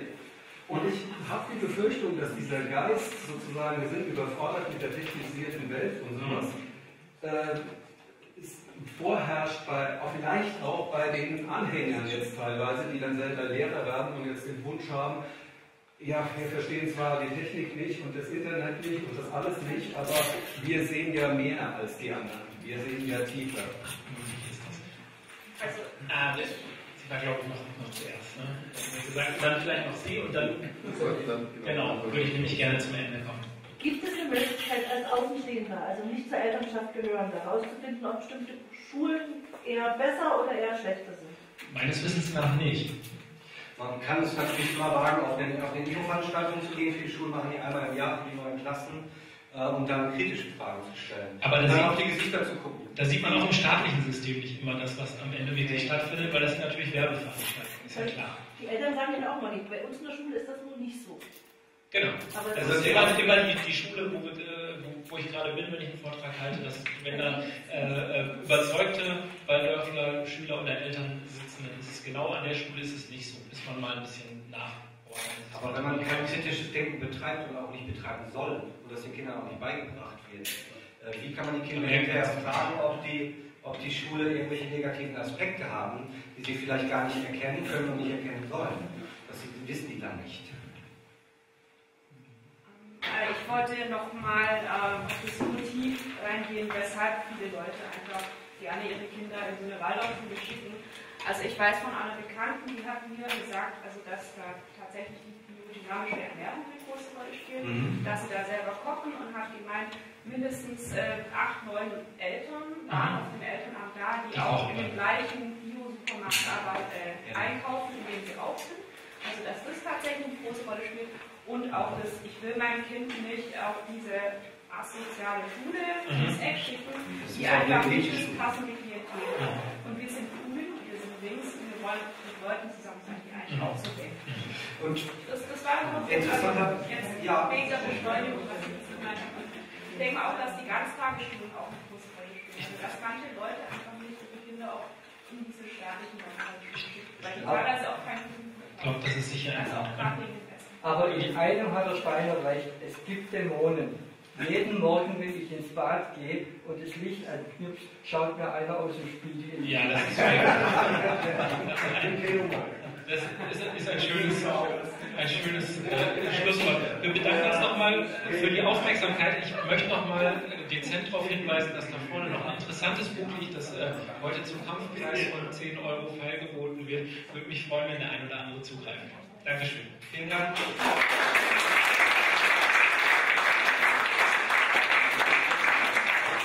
Auch von mir herzlichen Dank für den aufschlussreichen Vortrag und die angeregte und gute Debatte. Ähm, ich möchte nochmal, Oliver hat es bereits dankenswerterweise gemacht, auf den Film morgen um 10.30 Uhr hier an dieser Stelle hinweisen. Der Film heißt Wie gut sind Waldorfschulen, befasst sich ebenfalls kritisch mit Waldorfschulen und wurde gemacht im Auftrage des SWR, damals noch. Ich glaube, das hat dann zu Rechtsschwierigkeiten geführt, ähm, von Herrn Dietrich Kraus. Herr Dietrich Kraus ist Träger des Grimme-Preises und ist äh, Mitglied der Redaktion der ZDF-Satiresendung Die Anstalt. Ist ein absolut kenntnisreicher, sehr intelligenter